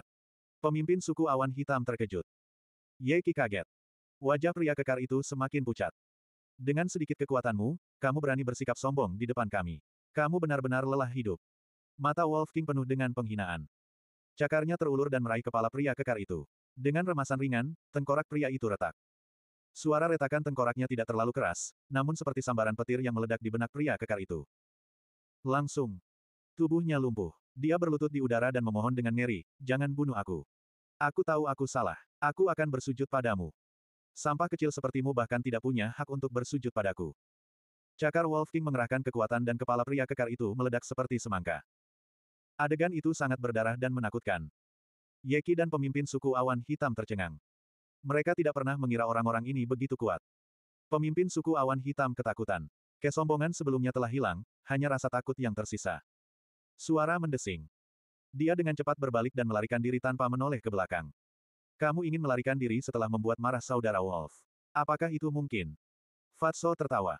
Suara mendesing. Tapi saat ini, dua sosok menerobos udara dan tiba. Mereka adalah dua wanita paruh baya. Salah satunya mengenakan gaun putih panjang. Salah satunya mengenakan gaun hitam panjang. Meski ada kerutan di sudut matanya, dia tetap menawan. Keduanya adalah imam besar suku awan hitam dan suku awan putih. Berhenti. Kita tidak bisa bertarung lagi. Saat keduanya terbang, mereka memanggil Yeki dan kepala suku awan hitam. Hem. Apa yang kamu lakukan di sini? Cepat kembali. Yeki dan kepala suku awan hitam berteriak dengan cemas. Namun kedua orang itu tidak mendengarkannya. Segera, mereka mendarat di samping Yeki dan kepala suku awan hitam. Lebih-lebih lagi. Keduanya memandang Qin Fei yang bersamaan, wajah mereka penuh ketakutan. Apa yang telah terjadi? Yeki dan kepala suku awan hitam bingung. Wanita di samping Yeki tiba-tiba berlutut di udara. Dia memandang Qin Fei Yang dan berkata, adik, kami salah, tolong lepaskan kami. Wanita di samping kepala suku awan hitam juga berlutut dan menatap Qin Fei Yang dengan memohon. Melihat adegan ini, Qin Fei Yang, Fatso, dan Wolf King semuanya bingung. Apa yang sedang terjadi? Yeki dan kepala suku awan hitam benar-benar tercengang. Aku benar-benar minta maaf. Tolong, tolong bantu kami. Kamu orang yang hebat, jadi tolong jangan merendahkan level kami, oke? Kedua wanita itu memohon lagi. Yeki melirik Qin Fei Yang, lalu menatap wanita itu dan berteriak, apa yang terjadi? Beritahu saya. Wanita itu berkata, saya baru saja menerima kabar bahwa seseorang mencuri api matahari surgawi di kota Tianyang. Imam besar suku awan hitam mengangguk dan berkata, dan orang itu dengan berani masuk ke pagoda pil. Apa? Sebenarnya ada hal seperti itu. Yeki dan kepala suku awan hitam tercengang dan dipenuhi rasa tidak percaya. Pada saat yang sama, Qin Fei Yang juga mengerutkan kening. Tempat seperti apa kota Tianyang itu? Apakah api matahari surgawi itu? Apakah itu juga merupakan api alkimia? Tiba-tiba, Yeki gemetar dan sadar kembali. Dia memandang Qin Fei Yang dan berkata dengan heran, lalu apa hubungannya ini dengan dia? Itu karena orang itu adalah dia. Dan dialah pembunuh yang membantai distrik pertama dan kedua, Qin Fei Yang. Kedua wanita itu mengucapkan kata demi kata. Qin Fei Yang. Yeki dan kepala suku awan hitam gemetar dan memandang Qin Fei Yang dengan tidak percaya. Orang ini sebenarnya adalah Raja Iblis pembunuh itu. Mereka juga mengerti mengapa Ye Chair membalas kebaikan dengan permusuhan. Langsung. Keduanya jatuh dalam ketakutan yang mendalam. Namun, Qin Fei Yang, Fatso, dan Wolf King bingung. Mereka baru saja memasuki distrik ketiga dan bahkan tidak tahu di mana letak kota Tianyang. Bagaimana mereka bisa membobol pil pagoda dan mencuri api matahari surgawi? Qin Fei Yang memandang kedua wanita itu dan bertanya, apakah api matahari surgawi adalah api alkimia?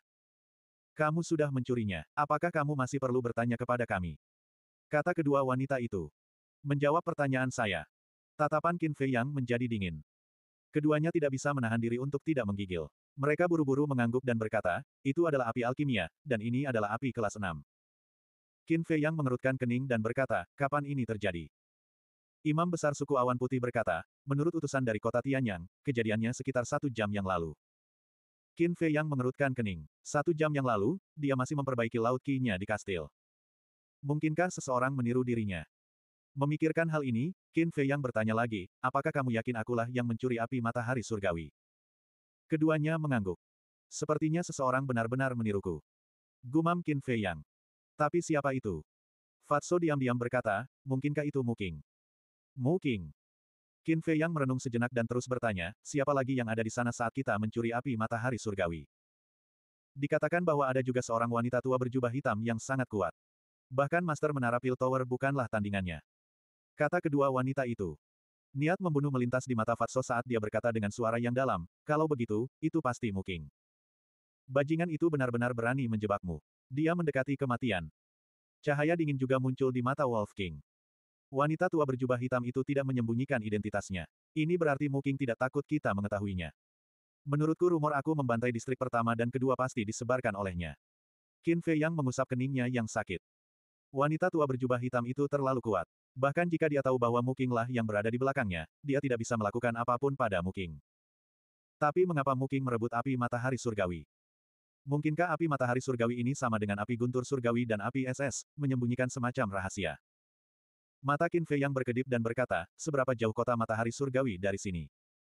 Imam besar suku awan hitam berkata, sekitar seratus ribu mil. Beri aku koordinatnya. Kata Qin Fei Yang. Bagaimana mereka berani ragu? Mereka buru-buru memberikan koordinatnya kepada Qin Fei Yang. Setelah menerima koordinat, Qin Fei Yang mengamati mereka berempat, matanya berkedip. Wajah mereka berempat juga penuh ketakutan. Itu tidak benar. Tiba-tiba, tatapan Qin Fei yang bergetar, dan untayan cahaya dingin keluar dari matanya. Melihat ini, mereka berempat juga sangat ketakutan. Qin Fei Yang memandang kedua wanita itu dan berkata, saya ingin bertanya, apakah Anda memberitahu orang-orang di kota matahari surgawi bahwa saya ada di sini? Tidak-tidak. Kedua wanita itu menggelengkan kepala berulang kali, tetapi ada sedikit kepanikan di ekspresi mereka. Mereka jelas-jelas berbohong. Qin Fei Yang sudah memiliki jawaban di dalam hatinya, dan bertanya, saya akan bertanya lagi, benarkah tidak? Benar-benar. Kami bersumpah. Keduanya bersumpah dengan sungguh-sungguh. Izinkan saya mengajukan pertanyaan lain. Apakah Master Pagoda dan penguasa kota matahari surgawi sudah mati? Kata Qin Fei Yang. Tidak. Keduanya menggelengkan kepala. Karena mereka belum mati, mereka pasti akan menambah bonti untukku. Di hadapan kekayaan yang begitu besar, bagaimana mungkin Anda tidak tergoda? Saya kira saat Anda menerima berita itu, Anda pasti sudah memberitahu orang-orang di kota matahari surgawi bahwa saya ada di sini. Sekarang kamu mengemis di sini, di satu sisi, kamu mencoba menyelamatkan dirimu sendiri. Di sisi lain, kamu mungkin mengulur waktu, menunggu orang-orang dari kota matahari surgawi datang. Qin Fei yang tersenyum tipis. Keduanya gemetar baik secara fisik maupun mental. Bagaimana orang ini bisa begitu pintar hingga bisa menebaknya? Sebenarnya saat aku bertanya untuk kedua kalinya, aku memberimu kesempatan. Jika kamu bersedia mengatakan yang sebenarnya, aku bisa melepaskanmu. Sayangnya, kamu terlalu tidak peka. Qin Fei yang menggelengkan kepalanya dengan menyesal, dan auranya langsung melonjak maksimal. Astaga! Segera setelah. Dia maju selangkah dan mendarat di depan imam besar suku awan putih. Dengan niat membunuh yang mengerikan, dia membanting telapak tangannya ke depan. Beraninya kamu. Di saat putus asa, Yeki buru-buru melayangkan pukulan ke arah Qin Fei Yang. Huh! Qin Fei yang mendengus dingin. Lengannya terangkat ke udara, dan cahaya kemasan keluar dari telapak tangannya saat dia membenturkan telapak tangannya ke tangan Yeki. Ledakan. Ditemani oleh ledakan keras, Yeki memuntahkan seteguk darah dan terlempar di tempat. Lengannya langsung hancur. Apa? Apakah kamu tidak terluka? Melihat ini, pemimpin suku awan hitam tidak percaya. Terluka. Pertarungan sebelumnya dengan Yeki hanyalah sebuah pertunjukan. Itu untuk memikat kalian, saudara-saudara, ke dalam perangkap dan mengambil inisiatif untuk menunjukkan sifat asli kalian. Qin Fei yang mengejek. Sebuah pertunjukan. Pemimpin suku awan hitam tercengang. Ternyata sejak awal anak ini sudah memasang jebakan dan menunggu mereka terjatuh ke dalamnya. Namun, bukan saja mereka tidak menyadarinya sama sekali, tapi mereka juga berpuas diri dan bangga, memperlakukan orang lain sebagai orang bodoh. Faktanya, mereka benar-benar bodoh. Skema yang mengerikan. Rasa takut muncul dari lubuk hati kedua imam besar. Ledakan. Tiba-tiba, kedua wanita yang berlutut di udara meledak pada saat yang sama, menyerbu menuju Qin Fei Yang. Mereka juga anggota Sekte Pertempuran Bintang Sembilan. Karena mereka dapat melihat bahwa hari ini, Qin Fei Yang tidak akan membiarkan mereka pergi apa pun yang terjadi. Daripada menunggu kematian, lebih baik mereka bertarung. Terlebih lagi, jika mereka bisa membunuh orang ini, mereka bisa mendapatkan hadiah yang besar. Oleh karena itu, pemimpin suku awan hitam dan Yeki yang terluka parah juga mengikuti. Imam besar suku awan putih sekarang berlutut di depan Qin Fei Yang. Menyerang secara tiba-tiba bisa dikatakan mustahil untuk dilawan. Kalau yang lain, mereka pasti akan menderita kerugian besar. Namun, Qin Fei Yang tidak panik sama sekali. Saat wanita itu bangun, Chang Sue langsung muncul. Dia meraih Chang Sue dan melambai ke udara. Kilatan cahaya melintas. Engah. 800. Ayo lakukan. Wolf King dan Fatso saling berpandangan. Kemudian, mereka berubah menjadi seberkas cahaya dan bergegas menuju kepala dan pendeta tinggi suku awan hitam. Ledakan. Terjadi ledakan keras. Satu manusia dan satu serigala bisa dikatakan tak terbendung, langsung membunuh dua orang. Sekarang, hanya Yeki yang masih hidup. Qin Fei yang memandang Yeki dan berkata, sebenarnya, saya bersimpati dengan Anda. Jika Anda tidak mengganggu saya tanpa henti, saya tidak akan membunuh Anda. Apa gunanya mengatakan semua ini sekarang? Yeki tersenyum sedih dan bergegas menuju Qin Fei Yang seperti ngengat api. Qin Fei Yang melangkah maju dan menusuk Chang Sui ke dalam hati Yeki. Namun, Yeki sepertinya tidak merasakan sakit apa pun. Dia memandang Qin Fei Yang dan memohon, tolong biarkan anggota sukuku pergi, oke. Okay.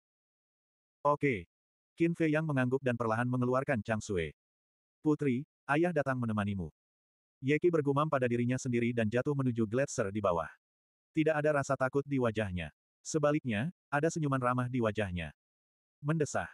Itu semua karena keserakahan. Qin Fei yang merasakan hal yang sama. Jika Ye Chair tidak berkomplot melawannya karena kekayaannya, Ye Qi tidak akan mati. Suara mendesing. Dia menoleh ke arah Wolf King dan Fatso dan berkata, segera pergi ke kedua suku itu dan bersihkan harta mereka. Fatso mengerutkan kening dan berkata, apakah kita benar-benar akan membiarkan anggota suku mereka pergi? Qin Fei yang berkata, kami bukan nyonya misterius itu, jangan bunuh orang yang tidak bersalah. Oke, kamu sudah mengambil keputusan akhir. Fatso mengangguk. Suara mendesing. Pria dan serigala itu mulai berlari menuju dua suku besar itu dengan kecepatan tinggi. Qin Fei yang melirik keempat mayat itu dan perlahan mengikutinya. Adapun pria jangkung dan pria pendek, mereka lumpuh di tanah. Wajah mereka pucat dan tak bernyawa. Qin Fei yang tidak mau repot-repot memperhatikan mereka. Tidak lama kemudian, Fatso dan Wolf King mendarat di dua suku berbeda. Kepala dan imam besar kedua suku telah jatuh, dan tidak ada yang bisa menghentikan mereka. Secepatnya, mereka membersihkan harta karun kedua suku dan meninggalkannya di bawah tatapan penuh kebencian dari banyak orang dari kedua suku tersebut. Selain itu, mereka juga menghilangkan api alkimia. Api alkimia kedua suku tersebut merupakan api alkimia kelas 5. Meskipun tidak ada gunanya, itu bisa dijual untuk mendapatkan uang di masa depan. Selain api alkimia suku King Yuan, pasir hisap, dan gunung hitam di area kedua, Qin Fei Yang dan yang lainnya kini memiliki lima jenis api alkimia kelas 5. Jika ini dilelang, pasti harganya akan setinggi langit. Selesai. Setelah bertemu dengan Qin Fei Yang, Fatso dan Wolf King tersenyum bangga. Ledakan. Tapi saat ini, aura suci yang menakutkan turun ke area tersebut. Kedua pria dan satu serigala mengangkat kepala dan melihat sekelompok orang turun dari langit. Pemimpinnya adalah seorang pria parubaya yang mengenakan jubah hitam. Dia memiliki wajah persegi dan rambut hitam seperti air terjun. Ekspresinya sangat suram. Di samping orang tersebut berdiri seorang pria parubaya dengan alis tebal dan mata besar. Tingginya sekitar 1,9 meter dan mengenakan baju besi emas. Dia dipenuhi dengan aura gagah berani. Di belakang mereka berdua, ada sekelompok penjaga lapis baja hitam. Ada lebih dari 30 orang, dan masing-masing memancarkan aura yang sangat kuat. Tatapan Fatso bergetar ketika dia berpikir, dua orang suci perang, sisanya adalah sekte perang bintang sembilan. Mereka tidak mudah untuk dihadapi. Apakah aku ingin kamu mengatakan itu? Wolf King memutar matanya ke arahnya. Pada saat yang sama, pria parubaya berpakaian hitam dan yang lainnya juga melihat Qin Fei Yang dan yang lainnya, dan mata mereka langsung menjadi dingin. Pria lapis baja emas itu berteriak, Qin Fei Yang, segera serahkan api matahari surgawi. Wolf King berkata dengan nada menghina, kamu bilang kamu akan menyerahkannya. Kamu pikir kamu siapa? Saya adalah komandan penjaga kota matahari surgawi. Orang di samping saya adalah penguasa kota matahari surgawi. Kata pria berarmor emas. Penguasa kota-kota matahari surgawi. Ketika masyarakat kedua suku di bawah ini mendengar identitas kelompok masyarakat tersebut, seolah-olah mereka telah disuntik darah ayam. Suara mendesing. Satu demi satu sosok bergegas ke langit dan berlutut di depan penguasa kota-kota matahari surgawi. Tuanku, Qin Fei yang baru saja dengan kejam membunuh pemimpin suku dan pendeta tinggi kami. Dia bahkan menjarah gudang harta karun dan api pil kami. Metodenya sangat kejam. Tuanku, mohon tegakkan keadilan bagi kami. Sekelompok orang melolong sedih dan air mata mengalir di wajah mereka. Apa? Pria lapis baja emas menjadi marah dan berteriak pada Qin Fei Yang, apakah tidak cukup untuk membunuh semua orang di wilayah pertama dan kedua? Anda masih ingin membunuh orang yang tidak bersalah di sini. Qin Fei Yang tidak mau menjelaskan lagi. Karena itu tidak ada gunanya. Dia ditakdirkan untuk membawa kambing hitam ini selamanya. Pada saat yang sama, Penguasa kota matahari surgawi juga menilai Qin Fei Yang dan berkata, kamu terlihat sangat muda, mengapa kamu melakukan hal yang tidak berperasaan seperti itu? Apa yang tidak berperasaan? Qin Fei Yang bertanya sambil tersenyum. Wajah penguasa kota matahari surgawi menjadi dingin. Keras kepala, jatuhkan dia. Ledakan. Pria lapis baja emas dan kelompok penjaga lapis baja hitam melepaskan aura mereka dan menyerang kelompok tiga orang Qin Fei Yang dengan niat membunuh. Pergi dan beritahu penguasa menara wilayah keempat bahwa aku juga akan pergi dan mencuri pil api miliknya. Qin Fei yang tersenyum tipis dan menghilang bersama Wolf King dan Fatso. Di mana dia? Pria berarmor emas dan yang lainnya saling memandang. Murid penguasa kota-kota matahari surgawi sedikit mengecil. Namun, itu bukan karena hilangnya Qin Fei yang secara tiba-tiba, tetapi karena kata-kata yang diucapkan Qin Fei yang sebelum dia menghilang. Dia sebenarnya ingin pergi ke wilayah keempat untuk mencuri pil api. Apalagi dia mengatakannya sebelumnya. Ini hanya meremehkan pil tower. Tuan kota, mereka adalah sekelompok buronan. Kita tidak bisa membiarkan mereka pergi begitu saja. Tolong, tuanku, Anda harus membunuh mereka dan mengembalikan keadilan kepada dua suku besar kami. Kembalikan perdamaian ke wilayah ketiga. Kedua suku itu meraung sedih dan marah. Penguasa kota-kota matahari surgawi memandang kedua suku di bawah dengan niat membunuh di matanya. Kemudian, dia melihat orang-orang yang berlutut di depannya dan berkata, jangan khawatir, cepat atau lambat mereka akan membayar harganya. Terima kasih Tuan. Semua orang membungkuk. Ayo pergi. Penguasa kota matahari surgawi memandang pria berarmor emas itu. Kita akan pergi begitu saja. Pria berarmor emas itu sedikit terkejut. Apa gunanya tinggal di sini ketika mereka semua sudah pergi? Kata penguasa kota-kota matahari surgawi tanpa ekspresi. Yang paling penting adalah dia harus memberitahu penguasa menara wilayah keempat apa yang dikatakan Qin Fei Yang sesegera mungkin agar dia bisa bersiap. Pria berarmor emas itu mengerutkan kening dan membuka portal. Kemudian, sekelompok orang masuk dan segera menghilang. Karena api matahari surgawi dicuri, reputasi Qin Fei yang di wilayah ketiga naik ke tingkat yang lebih tinggi. Namun, itu adalah keburukan dan keburukan.